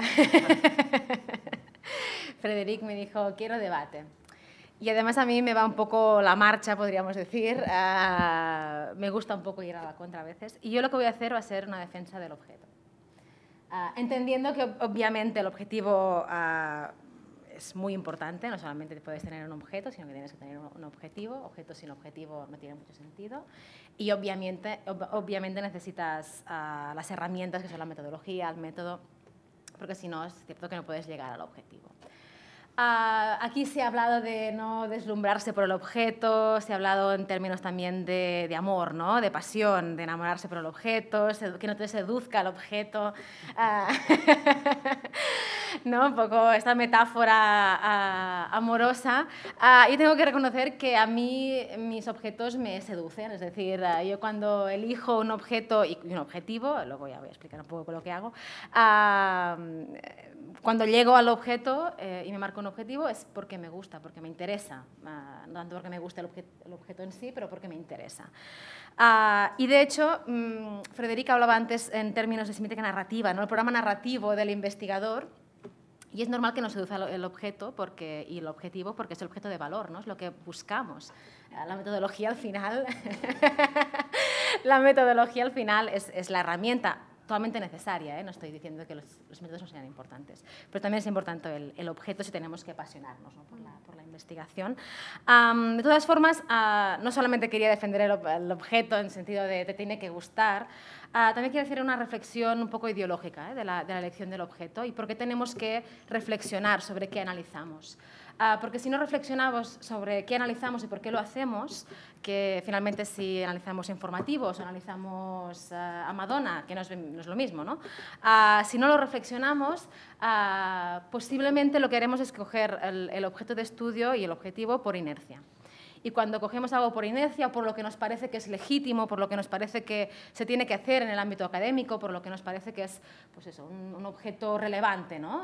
Que merece ser estudiado por, por, la academia, mientras que se entiende que hay otros objetos que son quizá un poco menos relevantes, quizá un poco menos legítimos, quizá no son tan serios. Ah, claro, cuando nos planteamos que hay géneros, que hay textos, que hay audiencias, que hay prácticas culturales que son, no son de todo legítimos para ser, para ser analizados desde la academia, Claro, aquí detrás hay ideología. Aquí detrás hay, ah, bueno, estamos ah, marcando jerarquías, estamos seguramente ah, profundizando en jerarquías que ya existen a nivel social y al mismo tiempo pues eso, las ayudamos a construirlas, ¿no? porque al final lo que hacemos en la academia acaba teniendo un impacto social, acaba teniendo un impacto social en cómo se construye discursivamente la importancia de determinados fenómenos. ¿Por qué digo esto? Antes decía Manel que yo me dedicaba a los estudios culturales, empecé analizando realities, ahora estoy en Celebrity Studies, es decir, que analizo famosos. Y no cualquier tipo de famosos, sino los famosos de peor calaña, podríamos decir. ¿no? Es decir, yo, mi objeto de estudio actual es, es Belén Esteban, también he trabajado sobre Rafa Mora, sobre Ilenia, analizo Sálvame. Ah, y a mí lo que me pasa habitualmente es que cuando explico qué es lo que hago, sobre qué trabajo, la gente ríe habitualmente. Eh, hace un par de años hicimos una tabla de Nueva Recerca en que teníamos que explicar experiencias de, estancias de investigación en el extranjero y yo fui a la Universidad de, East Anglia para, hacer, para trabajar en un, artículo que estaba haciendo sobre Belén Esteban, para hacer una comparación con una, una celebrity parecida en el, Reino Unido y toda la sala rió ¿no? cuando, cuando dije que analizaba a Belén Esteban. La gente no ríe por el objetivo, se ríe del objeto. Y me parece muy interesante esta risa, esta reacción, o sorpresa a veces, ¿eh? a veces incluso un poco de sorpresa, pero mm, negativa, ¿no? Un poco, ¿y esta, y esta mujer qué hace aquí? ¿no? dentro de la academia y fuera de la academia. ¿eh? y me parece muy interesante esta, esta, reacción de la risa, porque la risa lo que marca, lo que me dice, ¿no? es que analizo algo que... Mm, bueno, que no encaja, ¿no? no encaja en lo que se espera que haga un académico. A ver, obviamente no soy la única persona que analiza esos temas. En el ámbito de los estudios culturales, hace 50 años que, existen y que están analizando ese tipo de temas. Ah, y aquí en, el departamento pues también está, y ahora te meto aquí en el, tema, ah, Lorena, que bueno, su tesis era sobre telenovelas. ahora está con tema de revistas femeninas sobre maternidad. Ah, estamos preparando ahora un paper sobre celebrities y maternidad ya para hacer ah, el, objeto ¿no? uh, deslegitimado total. y luego hay otros investigadores. Oliver Pérez trabaja videojuegos, María José Massanet eh, también con uh, series, de adolescentes, es decir, obviamente no somos los únicos, ah, pero bueno, es interesante que ah, esa reacción, ¿no? y seguro que Lorena puedes explicar algunas otras ah, situaciones en las que te ha pasado algo similar. ¿no? De hecho, en la anterior conferencia o actividad que se hizo de, este ciclo, Pilar Medina, que analiza las, la representación del amor romántico en las series, también dijo que una vez así de pasada, ¿eh? que un compañero, cuando le dijo que, estaba estudiando, le, le, dijo, ah, sí, eso que os interesa a las mujeres. Claro, ese comentario, ah, pues bueno, ¿no? Ah, concentra... Claro, toda la carga ideológica de la que, a la que antes me hacía, hacía referencia en relación a, desde la academia, qué analizamos, qué analizamos y qué dejamos de analizar, ¿no? y cuáles son las auténticas razones y cuáles son los efectos. ¿no? Ah, y no es extraño que todos estos objetos excéntricos que nos gusta analizar, ¿no? las investigadoras, no sé si decir excéntricas, que somos, uh, bueno, yo y Lorena te pongo un poco en el saco también, ¿eh? uh, son objetos sin, legi sin legitimidad uh, cultural, es decir, que están en la jerarquía abajo de toda la jerarquía cultural. Y aquí voy a Bourdieu diciendo que las jerarquías culturales lo que hacen es reforzar jerarquías socioeconómicas que cuando decimos que algo no tiene valor, pues estamos reforzando que ni las prácticas tienen valor ni sus audiencias. ¿no? y al mismo tiempo, la mayoría de esos objetos son femeninos como sabemos lo femenino aún, aún hoy no tiene, no tiene demasiado valor. Por lo tanto, ah, en ese sentido creo que es importante plantearse el objeto de estudio para, que no, para, que, para darnos cuenta de ese tipo de prácticas. ¿eh? Ah, antes también Federica hablaba de, ah, claro, nunca no, nos plantearemos enamorarnos de unas partículas, ¿no? en el caso de... de la física, pero claro, es que nuestro objeto de estudio, que es cierto que bueno, es brillante, ¿no? es, es, es bonito, es, uh, es seductor, uh, no es exactamente como las partículas, es, decir, forma parte de la cultura, ¿no? forma parte de ese tejido ideológico que, que, que tiene que ver con, el, con, el, con, la estructura social, con lo cual las elecciones uh, tienen mucho que ver con eso ¿no? también. Luego, a nivel metodológico, porque no todo, to, no todo es el tema, obviamente, a nivel metodológico, sobre todo cuando analizas este, este tipo de temas, bajos, uh, muchas veces femeninos, um, es muy importante plantearse uh, cómo te sitúas como investigador en relación a ese objeto. ¿no? Uh, porque muchas veces nos situamos desde arriba ¿no? y, lo mira, y miramos el objeto abajo con un poco de asco ¿no? y con el palo porque no queremos que nos toque demasiado. ¿no? y aquí yo creo que es importante un poco eso, ¿no? es un debate típico de los estudios culturales. Analizamos la, nuestra cultura, analizamos la cultura del otro, uh, y si es nuestra cultura, debemos, debemos tener distancia o no, ¿no? Y aquí las estudios culturales es cierto que son un poco más rebeldes ¿no? en relación a la metodología y defienden métodos como la etnografía, autoetnografía que decía antes uh, Frederic, y que te permite explicar tus propias prácticas culturales. ¿no? Uh, y muchas veces uh, la introducción de ese tipo de temas, telenovelas, Madonna, lo que decía antes, ¿eh?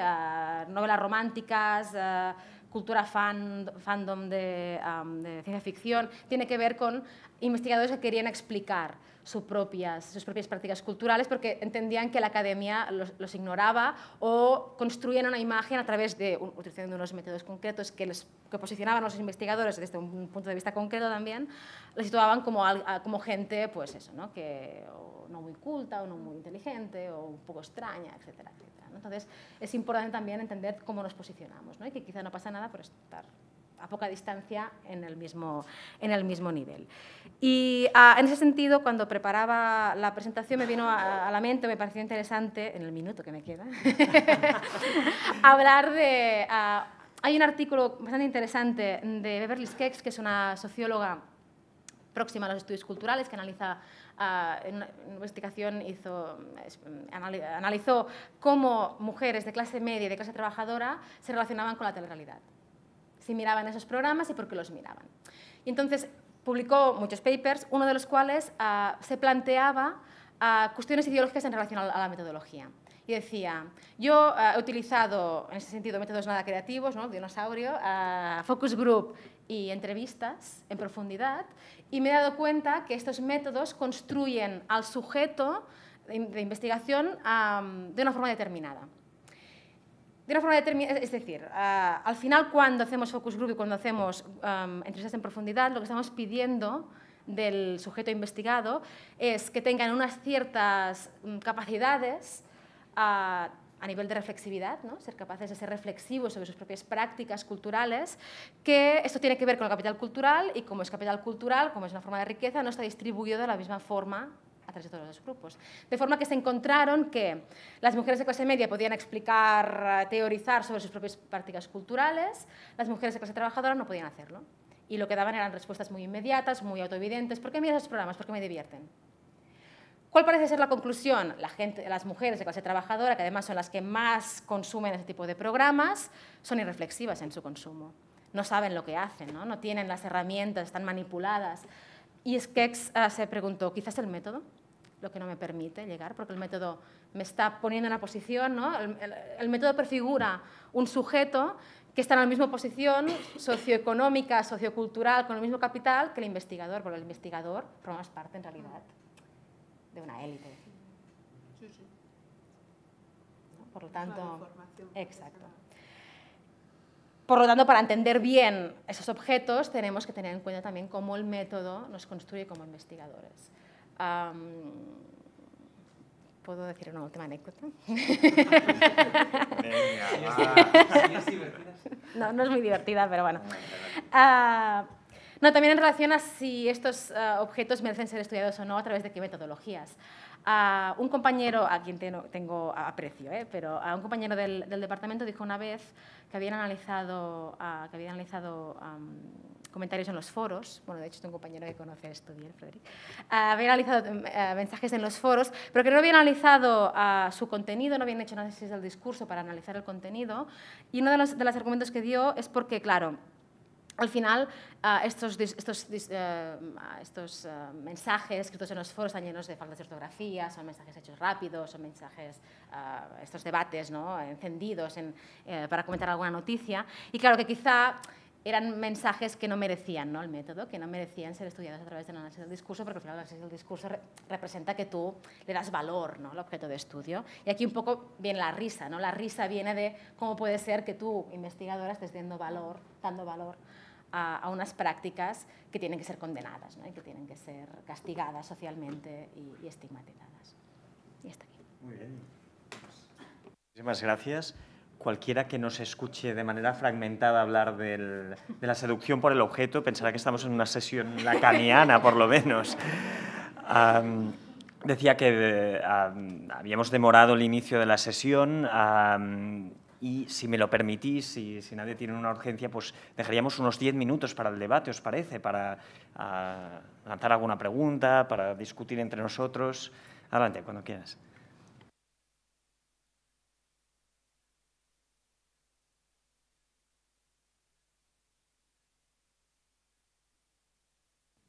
Gracias. ¿Aló? ¿Se escucha? Bueno, buenas tardes. Interesante toda la exposición y también el debate. Hace mucho reflexionar. Me ha hecho reflexionar también sobre mi investigación que yo acabo de terminar e inconscientemente me di cuenta de que había utilizado método creativo en el grupo de discusión. Pero hay algo que me llama mucho la atención que yo soy periodista y fue como un titular fuerte. Romper la barrera de seducción con el objeto de estudio. Cuando el objeto de estudio forma parte de hechos sociales y que también involucran a personas, más aún que mi objeto de estudio fue la memoria histórica de España y Chile con los conflictos respectivos de la dictadura, se me produce algo como un terremoto, porque yo tengo que ser honesto, me sedujo el objeto, me atraía el objeto, viví el objeto y además tengo una ideología sobre el objeto. No obstante, respeto la posición de alejarse un poco sobre esa postura. Y aquí viene lo segundo. En el, en el método me ayudó mucho, porque observé a las personas, en el grupo de discusión hablaron mucho, aparecieron cosas que no tenía preconcebida y que fueron sorpresa. Entonces, para mí una evaluación fue, está ok. Y aquí viene la pregunta que me llamó mucho la atención, que en la investigación por fases, eh, el método que sea lo más heterogéneo. Y ahí me gustaría saber eh, cuál es el objetivo y por qué. Me gusta que me hagas esta pregunta, ¿eh? porque quería responder precisamente esto. A ver, em, si yo escucho a Lorena y a Mercé, eh, estoy de acuerdo en el 99,9% de lo que ellas objetan sobre mi propia posición. Ahora bien, vamos a utilizar una metáfora. ¿sí? El objeto es la luz que ilumina la habitación, pero tú no puedes estar constantemente mirando la, la bombilla. Esta es la idea. Yo entiendo que tú te sientas seducido como yo por los objetos de estudio, porque, repito, los objetos de estudio de la comunicación son seductores, por definición, ¿sí? Porque son luz, porque son cultura, porque son algo que nos atrae, porque no, nosotros vemos únicamente eh, Sálvame, lo miran millones de personas, ¿no? No solo tú particularmente puedes estar atraído por la historia de España y, de España y Chile en los años 70, ¿no? Me imagino, sí. Eh, millones de personas estamos seducidas por esto. ¿Qué nos diferencia como eh, científicos? En parte el método, la manera como nos aproximamos a él. Nosotros no, no siempre tenemos que vivir continuamente y disfrutar el objeto, ¿sí? Como espectadores de este objeto. Porque si no, desviaremos la mirada y mm, seremos injustos con el objeto. Al final acaba siendo injusto con él. Esta es mi posición. Evidentemente respeto que alguien se enamore del objeto. Es lógico, normal y, y lícito. Y lo hacemos todos. ¿eh? Pero ¿qué nos perdemos con una excesiva mirada hacia él esta es mi pregunta y mi reflexión, lo que quería yo compartir con vosotros. Luego, la concatenación de, métodos es ir un poco más allá. ¿no? Eh, a ti te emociona tu objeto de estudio, pero no has dicho nada del focus group, no has hecho saltos. ¿no? He utilizado focus group y, me he enamorado del focus group. Y yo digo, mi idea para transmitiros, que es muy sencilla, ¿no? es eh, detrás del método hay el juego y la perversión del texto el individuo y las condiciones en las que el texto es eh, recibido por el individuo. Y aquí empezamos a orientar la investigación de una manera diferente. No quiere decir que exclusivamente la investigación deba ser así. No quiero restar valor a una investigación como la tuya, como nunca he restado valor a la de Mercé, que me encanta y defiendo eh, públicamente siempre que puedo.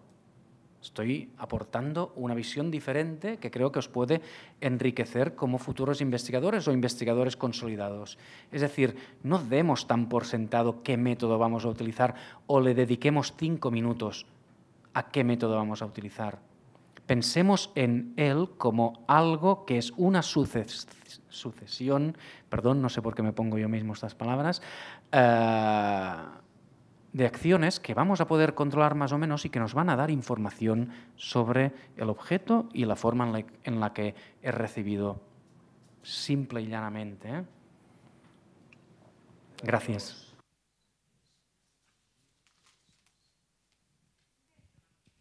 Relaciona esto de no, del amor al, objeto. Que el amor al objeto no quiere decir que te tenga que gustar mucho el objeto en sí, es decir, no quiere decir que seas, tengas que ser necesariamente fan de aquel objeto, te puede interesar mucho el Lo digo porque, claro... Eso lo dice por Belén Esteban. Yo lo digo esto por lo de Salva, sí, porque luego está este, el, el riesgo personal ¿no? de analizar ese tipo de, objetos, que es que luego te, ven ¿no? como, no, es que sea, no es que tenga su biografía firmada en casa, ¿eh? pero que no la tengo. ¿eh? Pero quiero decir que, que, te, que te apasione el objeto, no quiere decir que tengas que ser fan del objeto, aunque, aunque puede serlo. Bueno, eh, lo que pasa es que como se habló también de la, bueno, de la creatividad, a mí algo que me, que me pasa es que yo también quería como preguntar hacia la universidad cómo hacer que haya apertura, por ejemplo, en las tesis doctorales o qué se necesita ¿no? para, para esto, porque yo he visto, no sé, en TEDx o así, eh, estas disertaciones en, que se han hecho en el MIT, en Harvard, en varios lugares, de cosas físicas, de biología tal, representadas con danza, maravillosas. O, por ejemplo, las tesis doctorales en cómics sobre, sobre el mismo tema y que era, bueno, rodó yo creo por todos lados esta tesis doctoral en cómic, un cómic precioso sobre, no sé si era precisamente alfabetización visual o, o sea, en esta cosa que dices como muy metatextual de que con la misma forma estás hablando en la tesis, ¿no? Em, la autoetnografía, por ejemplo, yo acabo de encontrar un artículo que es eh, que vas a hacer, o sea, el título era así como, que vas a hacer autoetnografía, ¿qué? Entonces, todas estas cosas que tú ves y que dices, bueno, a mí me encanta la etnografía y no empiezas a ver autoetnografía, poema, etnografía, teatro, tal, tal, tal, pero así como hay cierto recelo en las ciencias, como que de ciencias duras, digamos, sobre las de la comunicación, luego también aquí en la comunicación parecería que cuando son muy antropológicas o cuando son muy, eh, también así como que se cuestiona un poco, eh, ay, pero ¿cómo eh, hablar en primera persona en, una, en un paper en vez de en tercera persona? ¿Dónde está el rigor metodológico? O, por ejemplo, a mí me pasó una tesis que empiezas y que es ¿cómo me piden un protocolo? De, o sea, sí, no, por supuesto tienes que tener el protocolo, pero si haces una investigación dos años, es que va cambiando y yo creo que es la idea, ¿no? Y es, pero el respeto al protocolo, ¿no? Y digo, yo tuve un director súper abierto, ¿no? Que es Carlos Escolari, pero, pero de las cosas que he oído, que he visto, que oigo en las mesas y que yo digo, por, ah, pues no sé, a mí sí me, me, hubiera encantado incluir, no sé, hacer una tesis, si mi tema es transmedia, transmedia, interactiva, en video, pero no, no lo sé, ni siquiera a lo mejor reclamo, sino pregunta, ¿no? Es cómo se da ese paso para que en forma y contenido haya rigor, pero haya apertura ante estas cosas que vienen de, del diseño, de la etnografía, de la antropología, aquí en, en Pompeo, o cómo, cómo, le hacemos, o no, no, sé, pregunta, no sé, un poco. No, a todos, a todos. Bueno, o, yo casi... Fue mi experiencia de doctoranda, pues, fue muy, y además, claro, digo, no, no, nadie me dijo, no sé, yo, no fue eso, sino que es como que tú vas viajando y vas preguntando y dices, eh, son como preguntas que se quedan ahí en el aire, ¿no? Yo nunca le pregunté a alguien, pero preguntar si un paper va en tercera persona, no, no, la formalidad, y alguien te dice otra cosa y tal, pero dices, lo lees y luego yo digo, estoy leyendo en Game Studies, en muchas revistas, cosas en primera persona, cosas de una noche de juego este, en World of Warcraft. ¿no? Y, y, y, de repente dices como mucha... En el mundo sajón, pues, más apertura que lo que lees en español en cuanto a metodología. Y termino de decirlo, por ejemplo, en comunicar, ¿no? que nos regresaron un artículo porque, porque la muestra era de 30 alumnos y era algo basado en diseño y tal, y era porque no había parte cuantitativa. Entonces es como, estás queriendo innovar, pero luego también las revistas que publican que esta es otra, te salen con que ese no es el método riguroso, valioso, porque, porque no tiene métodos mixtos y no está validado, pero se refieren a cuantitativo y cualitativo también como de una manera súper cerrada. Sí, yo creo que la pregunta es muy pertinente porque probablemente, probablemente flota desde el inicio de la sesión, cuando veíamos el título, ¿no? ¿Cuán flexible finalmente es la academia a tanta innovación o tanta creatividad metodológica como proponemos? No, no sé si un poco sí, podríamos, creo... desde vuestra experiencia, um, responder a, a lo que... A ver, yo creo que, lo voy a decir un poco de forma un poco bestia, ¿eh? pero es el, es el yugo del primer cuartil. Es decir, uh, um, ¿no? Es esto, ¿no? Es decir, ahora mismo estamos en, en esta carrera um, en la que un poco en esta evolución de la universidad hacia posiciones, yo diría, más neoliberales. No voy a decir mucho más porque si no me van a echar, pero... Yo, yo voy a poner el contrapunto para... Pero, para, no, pero yo creo que pero, tiene que ver un sí. poco con eso. Sí. Pero, en el sentido de que se publican cosas de estas, pero en revistas de Cultural Studies, uh, que son, están en otro, están en ISI, pero están en otro, en otra... Sí, en otro ámbito, sí, en sí. otro campo. Y luego eh, Game Studies es cuarto cuartil, o sea, yo creo que se puede, puede ver rigor y, y me ha gustado mucho que Federica hablara de ese tipo de, de metodologías, porque Uh, bueno, obviamente yo soy muy fan de lo cualitativo y me parece pues, ¿no? de hecho, importante no, defender. No, no, es nuevo, se ha hablado de los estudios culturales. Sí, Tenemos como referente los anglosajones, pero los estudios culturales latinoamericanos, yo cuando trabajaba la tesis, las historias de vida era una cosa muy común y muy desacreditada en cambio en nuestro ámbito de investigación, por no hablar ¿no? de esta autoetnografía que era casi de estar por caso, la estimulación que ahora vendemos como, perdón, no, no, es cosa de Frederic, pero en general se habla de esta estimulación a través de los dibujos o de la redacción de poemas como algo novedoso. Yo lo estaba leyendo como una investigación que en, en Latinoamérica se estaba haciendo en los años 80, en paralelo a cómo surgían los estudios culturales británicos, la crítica feminista. ¿no? En cambio, es una cuestión también de cómo, hasta qué punto la política o esa, o esa presión, yo al final de, de, mi intervención hablaba de los campos de poder de Bourdieu. Decía, hasta qué punto la economía, la política, ¿sí? o lo, lo, lo, legítimo lo, o lo ilegítimo hace presión sobre cómo funcionamos. ¿no? Uh, Goffman ¿no? era un pulpo en un garaje Americano, en su época ¿no? y cuánto ha aportado Goffman cuando se nos encierra en un manicomio ¿no? y nos hace uh -huh. esta observación participante durante dos años. Es un, no es nuevo, es, estamos hablando de una trayectoria de 30, casi 40 años atrás. ¿no? Entonces, eh, es curioso porque en esta sesión nos estamos pidiendo hasta cierto punto un pensamiento flexible. ¿no? Yo creo que esta es la competencia que estamos uh, trabajando ¿no? en, en, intensidad y en cambio en un entorno que no es en absoluto flexible ¿no? y que necesita quizá este, este rodaje. Entonces, por eso hablaba al principio de no tanto una oposición como una complementariedad.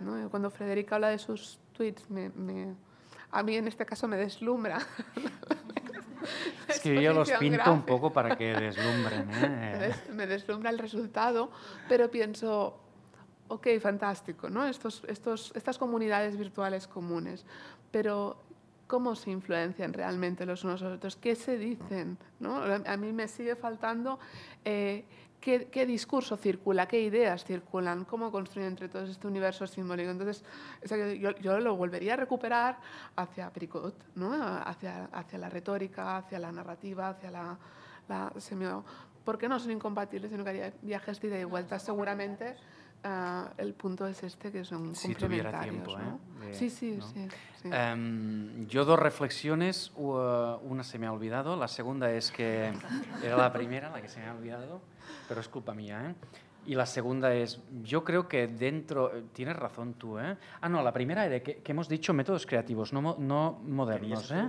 Sí, de... sí, ¿no? Porque yo no, no me he propuesto uh, apuntar a lo más trendy, ¿eh? Yo he dicho, bueno, vamos a salir de lo que normalmente tocamos, ¿no? Entrevista, focus group y encuesta. Vamos a decir, pues hay cosas más creativas.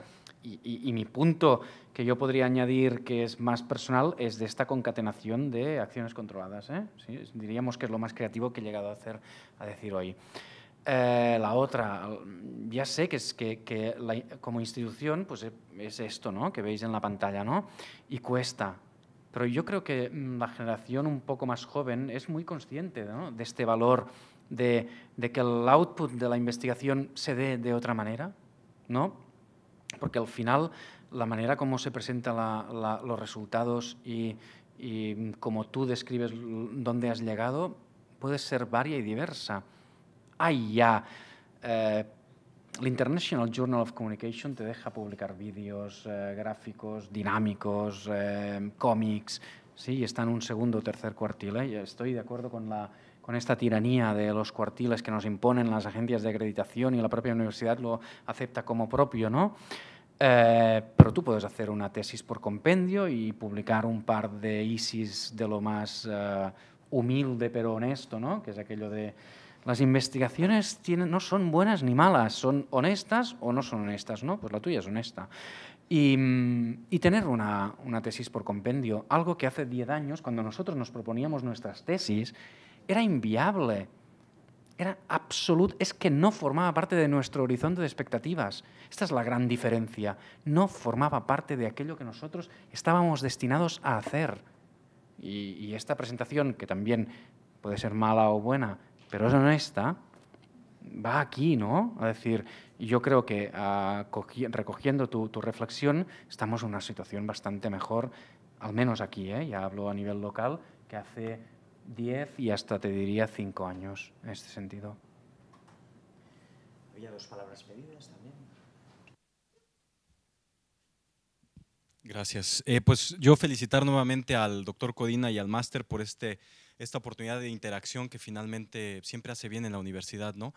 Eh, felicitar al doctor Frederick por la, por la brillante exposición. Y solamente yo quiero regresarme un poquito más y, y tratar de tratar como de, de establecer eh, líneas rojas, porque a mí me, a mí me excitó mucho el, el hecho de, de, leer el título de esta conferencia eh, como métodos creativos y, y, y luego cuando escuché la exposición del doctor Guerrero me tranquilizó muchísimo porque los seres humanos necesitamos, eh, eh, necesitamos tener puntos de anclaje y dije, ah, hablamos de métodos y no de metodología o de metodologías. Y me da la impresión que eh, tampoco los todos los investigadores o todos los estudiantes de posgrado tenemos muy claro a veces la diferenciación entre la metodología o las metodologías y los métodos y a veces se confunde y, nos, y, como, y, a diferencia de las ciencias formales, en ciencias sociales nos enseñan a ser buenos profesionistas o buenos, o buenos expertos en una determinada materia, pero no nos enseñan a ser buenos metodólogos o a manejar bien la metodología y nos volvemos expertos en métodos. Yo soy experto en análisis del discurso.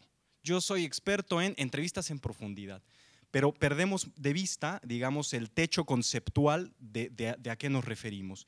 Y me dio mucha tranquilidad porque volvemos al paradigma clásico de la ciencia, de la teoría de la ciencia. Solo hay dos metodologías, cuantitativa y cualitativa. Y hay investigaciones cuantitativas, cualitativas y mixtas, que, utilizan los dos tipos de metodologías. Y de estos tipos de metodologías, o de estos tres, si quieren ustedes, para no sonar tan ortodoxo, de estos tres tipos de metodologías, pues existen un montón de métodos, eh, tantos eh, como los que nos acaba de explicar el, doctor Frederick, y además que nos acaba de explicar esta eh, creatividad que yo le di lectura de innovación más que creatividad, porque a veces se puede ser creativo usando métodos clásicos de investigación y de indagación y se puede ser muy creativo, simplemente por el, por el, enfoque del objeto de estudio. Pero que no perdamos de vista este, este enfoque de la metodología, que cualitativo, eh, cuantitativo es contar cosas y cualitativo es darles una cualidad no numérica o, subjetiva o, o, no tan objetivable, objetivizable al objeto de estudio. Y, y, a partir de aquí hacer esas diferenciaciones. Luego, en estos métodos o técnicas también eh, me hubiera gustado que hubiese habido eh, una diferenciación entre métodos o técnicas de recogida de datos, de explotación o extracción de datos y de análisis o interpretación de los mismos, porque me da la impresión que, que, que, a, que a, lo mejor se tiene claro evidentemente desde la, desde la exposición, pero ya desde la, desde la recepción no sé si puede eh, quedar tan claro, sobre todo si no tenemos fundamentos tan sólidos acerca de la, de la concepción, digamos, metodológica. Y esto la verdad es que no es culpa de, de nadie, en todo caso es culpa de la, de la, de la academia pública, ¿no? Creo yo porque a veces eh, no nos concentramos en, en, una formación sólida en, en, cuanto a metodología. Y luego también la finalidad de las investigaciones, porque eh, también se hace investigación en la iniciativa privada y a veces se hace investigación de, de mucho más avanzada que la que se hace en la academia, pero, pero y, y sobre todo en la academia pública, pero esta, esto, esta investigación que se hace eh, fuera de la academia, ya no sé si sea investigación necesariamente científica. Y vuelvo otra vez al planteamiento inicial. Se supone que en la universidad hacemos ciencia, y es decir, nos basamos en el método científico. Y en ocasiones me da la impresión que hay investigaciones eh, con una metodología que se aparta demasiado, creo yo, del el método científico. Y creo que esto es ahí también donde tendríamos que analizar los que nos dedicamos a ciencias sociales, o en mi caso que pretendo o estoy en proceso de aprendizaje, pues qué tanto nos alejamos a veces, ¿eh? y, a veces hay investigaciones eh, bastante muy apartadas que incluso se convierten en apreciaciones eh, nada más y, que se apartan mucho del método científico. Y por eso regreso nuevamente a la ponencia del doctor Guerrero, me parece muy importante que en ciencias sociales o no formales, retomemos mucho de las ciencias formales, de las ciencias exactas, ¿no? porque nos da también un tamiz eh, de orden, de sistematización, como, decía, como decían las, doctoras, y luego también en la, innovación de la presentación de las eh, investigaciones, por ejemplo, en la teoría de grafos, como se suele presentar en social media, también esto no es necesariamente objetivo. Es decir, la forma de presentar un gráfico también puede ser subjetiva el, el, tamaño de las formas, el tamaño de los círculos, ya, ya para presentar como una, como una gráfica, ya también nos puede, nos puede dar eh, una percepción distinta y también puede ser eh, susceptible de interpretarse. Bueno, eh, era, es todo y gracias.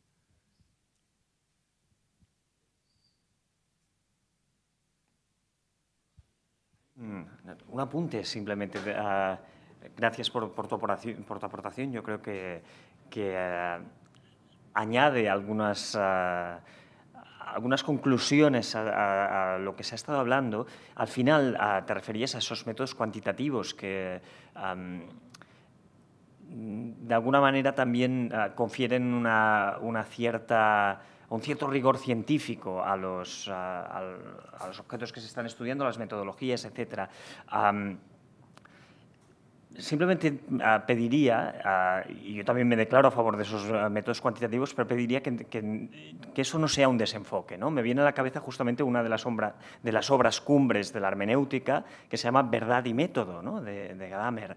Y precisamente lo que pone en cuestión es eso, ¿no? ¿Dónde está la verdad al final en los métodos, incluso en aquellos que son científicos? Precisamente porque esos métodos científicos o de las ciencias puras a los que nos referíamos, en muchos casos también llegan a ser subjetivos y, eh, precisamente están filtrados por una determinada mirada. ¿no? Con lo cual, sí, coincido contigo, efectivamente, tenemos que ser un poco deudores también de toda esa tradición metodológica que bebe de las ciencias puras, pero casi pediría no olvidar lo que está en la periferia, que también nos ayuda, sobre todo en nuestro ámbito de estudio, a hacer crecer el, el conocimiento. ¿no? Yo una, un apunte, yo en un momento. Eh, Luis me debe estar maldiciendo porque he hecho una exposición más larga de lo esperado. Ya he hecho el apunte de, de data gathering, processing y analyzing, pero bueno, cuando queráis eh, una nueva sesión sobre esto, ¿no? Es que no, no tengo tiempo de... ¿sí? Uno cuando ya...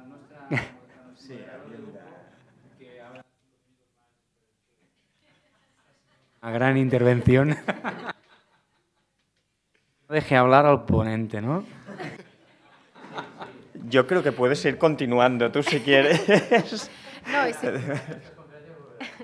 no, y simplemente quería decir nada, una, una pequeña apreciación que el, conocimiento en realidad nunca es neutro, ¿no? Y aquí, bueno, yo es que es eso, ¿no?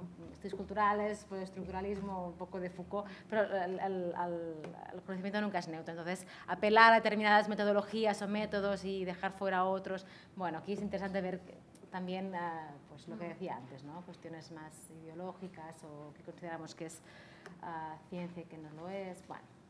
Bueno, hay un hándicap siempre que es el de considerar científico el método cuantitativo sin cuestionar, sí. ¿no? Uh, que no deja de ser construido por un investigador desde un punto de vista absolutamente subjetivo uh, y considerar el método cualitativo, por ende, ¿no? uh, siempre sujeto a sospecha. ¿no? Y entonces, bueno, yo no sé, Mercedes que lo comparte conmigo, nunca he puesto en cuestión la cientificidad de lo que hago y me he movido en parámetros más cualitativos que cuantitativos. Creo que la cientificidad en este caso viene por el rigor en la aplicación del método y en el diseño. Yo soy, uh, Frederica, empleado el término honesta en lo que hago. Entonces, también hemos de ver ¿no? uh, cómo estos dos ámbitos, estoy totalmente de acuerdo ¿no? con esta separación, hay dos metodologías y luego está lo mixto, y una cosa son técnicas o métodos y otra cosa es la metodología, no dejan de ser formas de mirar la realidad que nos dan un tipo de imágenes u, otras imágenes, o si queremos nos abocan a un tipo de explicaciones de la realidad donde queremos superar la mera descripción. Y para superar la mera descripción nosotros hemos de decidir cuál es la mirada que hemos de, fijar sobre la realidad. Elegir objetos y elegir fragmentos de esta realidad a explicar. Había una, una, última palabra pedida, casi, bueno, por allí también, ¿no? Casi con, si adquirimos el, el compromiso de ser muy sucintos, todos, ¿eh? yo, el, yo el primero, para no eternizar la sesión. Gracias. Hola, sí. Eh, bueno, eh, Frederic preguntaba antes que no sabía si la presentación había sido buena o mala. Mm, yo sinceramente creo que ha sido brillante sinceramente, por parte de los tres. O sea, Grabado en audio, gracias. Sí. no, no, lo, me lo he pasado muy bien, creo que ha sido una presentación brillante por parte de los tres, también por parte de los cuatro como moderador Manel, así que enhorabuena por ello. Eh, sí, además ha incentivado mucho debate, con lo cual es un síntoma claro de, del éxito que ha tenido. Y dicho esto, pues ahora expreso una opinión eh, en, en, relación a lo que hemos hablado. En primer lugar, en re, y, y os hago dos preguntas. En primer lugar, en relación a, al título de, de, la conferencia de hoy, yo quizás después de escucharos a los tres cambiaría el título y lo llamaría investigación creativa, porque veo o percibo que tenemos a dos ponentes, a Frederic y a Lorena, que han hablado de métodos creativos, y a Mercé, que ha hablado de un objeto de estudio creativo. Y ambas cosas son esenciales eh, cuando hacemos investigación. Entonces creo que se complementa muy bien lo que habéis dicho uno y otros. Eh, empezando por los métodos creativos. Eh, me ha encantado que Frederic plantee nuevas propuestas eh, metodológicas de cara a la investigación para romper, como decía Lorena, la rigidez de la investigación a la que estamos sometidos constantemente y además mediante métodos que señalabais híbridos o heterogéneos y, y también en fases. Yo creo que son dos propuestas muy, muy importantes. Para hacer esto, todos los tres habéis coincidido en que es necesario beber de otras disciplinas que es necesario aprender nuevas habilidades, lo cual, hablando de esta universidad neoliberal o megaproductiva, es muy difícil a veces poder sacar tiempo para el estudio. Y aquí viene la primera pregunta. Quizás podría ser una solución colaborar con otros profesionales o otros perfiles, apostar por la interdisciplinaridad para coger y sacar adelante estas investigaciones, no, hacer, no plantear las investigaciones individualmente, sino colectivamente con personas que tienen perfiles muy distintos. En este sentido, yo creo que el Departamento de Comunicación está de enhorabuena porque tiene un montón de profesionales con perfiles muy diversos y entre los que reina una buena sintonía, lo cual es extraordinario. Entonces, quizás esta podría ser bueno, esta es la pregunta. ¿Creéis que hay que potenciar este tipo de, trabajos? Y ahora, en relación a la creatividad en el objeto de estudio, que era lo que defendía Mercé, precisamente esa originalidad y ese valor que hay que tener para abordar estos temas de estudios que bueno, hacen que la gente te diga, pero ¿qué, es lo que hace esta chica? Eh, la creatividad está en el objeto de estudio. ¿Eso crees que implica que cuando se abordan este tipo de temas eh, pues se te exija que los métodos aplicados tengan que ser más estándar más estándares o más rigurosos?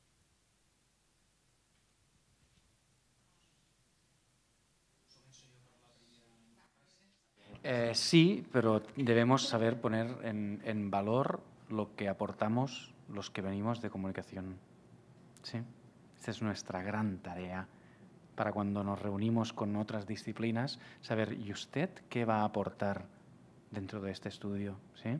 Yo creo que es a lo que nos enfrentamos realmente y lo que yo defiendo constantemente, que es tenemos un conocimiento, mmm, vaya, yo creo de un valor incalculable, pero también tenemos que construir una narración respecto a él, qué sabemos hacer y cómo nos vamos a ayudar entre nosotros. ¿Sí? Porque ya he hablado de que el objeto es, es querido y deseado por muchas otras disciplinas. De hecho, la psicología de los medios, la neurociencia, la neurobiología que ha aportado tanto en comunicación y que Federica ha mencionado en algunos casos, ¿no? como, como estas últimas interdisciplinaridades o si se quiere están a la orden del día. Yo creo que el, el hándicap es saber uh, de dónde partimos ¿no? o que, cuál es nuestro valor añadido ¿no? y este es el que tenemos que, que aprender a reivindicar. Mm, pero experiencias hay y, y Rafa conoce algunas. ¿no? Y, esta posibilidad de intercambiar esta. Sí, yo uh, respecto a la primera pregunta, sí, o sea, es decir, uh, es, es, obvio que, que, es interesante ir a trabajar con, con, gente de otras disciplinas y con nuestras metodologías y uh, métodos. De hecho, a mí me gustaría mucho entrar ¿no? en, en, esos dibujos de, bueno, dibujos, perdona, eh, esquemas de, de, de Frederic y ver ahí el, el, discurso, ¿no? Hoy me gustaría ver los discursos sobre Belén Esteban, que analizo um, debates al, alrededor de, de, de, esta figura en, en, foros de Internet, ver esto cómo se traduce, ¿no? En, en... Nos lo hemos planteado, Sí, ¿eh? pero, pero, nunca no, lo hemos no hecho, hay, no sé por qué. No hay tiempo, no hay tiempo. Sí, ya. pero bueno, tenemos que hacerlo. Y, uh, y la segunda pregunta, Sí, no. Es decir, obviamente, a ver, uh, no solamente necesitas el objeto, necesitas un, un, objetivo y el objetivo tiene que ser uh, aquí, aquí sí, ¿no? Serio, relevante. Um, y, y, creo que es, que es mi caso. ¿eh? Um, yo me sitúo totalmente dentro de las ciencias sociales y, y, y analizo con rigor, es decir, es decir analizo, yo hago análisis del discurso y análisis del discurso de, de, también de los, de los foros, ¿no? de, de los debates uh, sociales y bueno, en algún momento haré, espero, también focus group, aunque sé que no soy un poco dinosaurio, ¿no? En realidad. Uh, pero sí, obviamente es importante ser, tener rigor. Uh, de todas formas, como son temas muy próximos a los estudios culturales, este tipo de, de, ámbitos que son un poco más flexibles, pero también tienen rigor, es decir, no, no puedes hacer cualquier cosa, sino que te piden rigor los, y los revisores son muy rigurosos cuando te evalúan. Bueno, tienes un poco más de margen, pero obviamente tiene que ser una investigación seria, uh, con una muestra, con una metodología y bien analizada. Y vaya, yo creo que, bueno, no creo, yo hago ciencia también, es decir, aunque analice Bren Esteban. pues muchísimas. Sí. Daniela. Gracias. Yo solo quería aportar en la discusión que tú, tú pusiste en la mesa que me parece importante mm, explicitar que atrás de esta idea de cómo se hace academia hay finalmente una idea monocultural de cómo se hacen las cosas.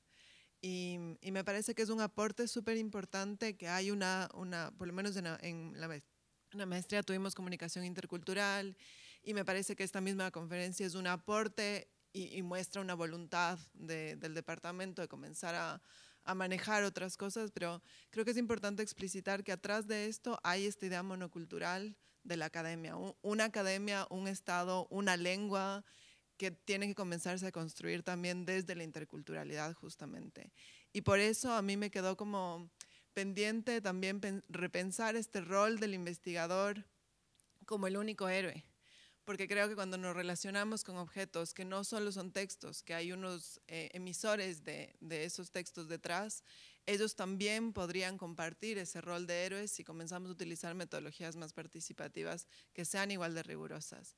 Y coincidir con Lorena y aportar nuevamente que yo creo que ahí Latinoamérica tiene una, una tradición súper importante que lastimosamente no ha sido expresada como artículos científicos, lo cual es cierto pero la educación popular, incluso la teología de la liberación en América Latina, Paulo Freire, por ejemplo, ha hecho unos aportes gigantescos que podrían ser recuperados y son la semilla de lo que estamos viendo ahora, tal vez sin, sin computadores, pero que ya te planteaban unas, eso, unas metodologías creativas totalmente distintas y súper válidas para la investigación. Eso.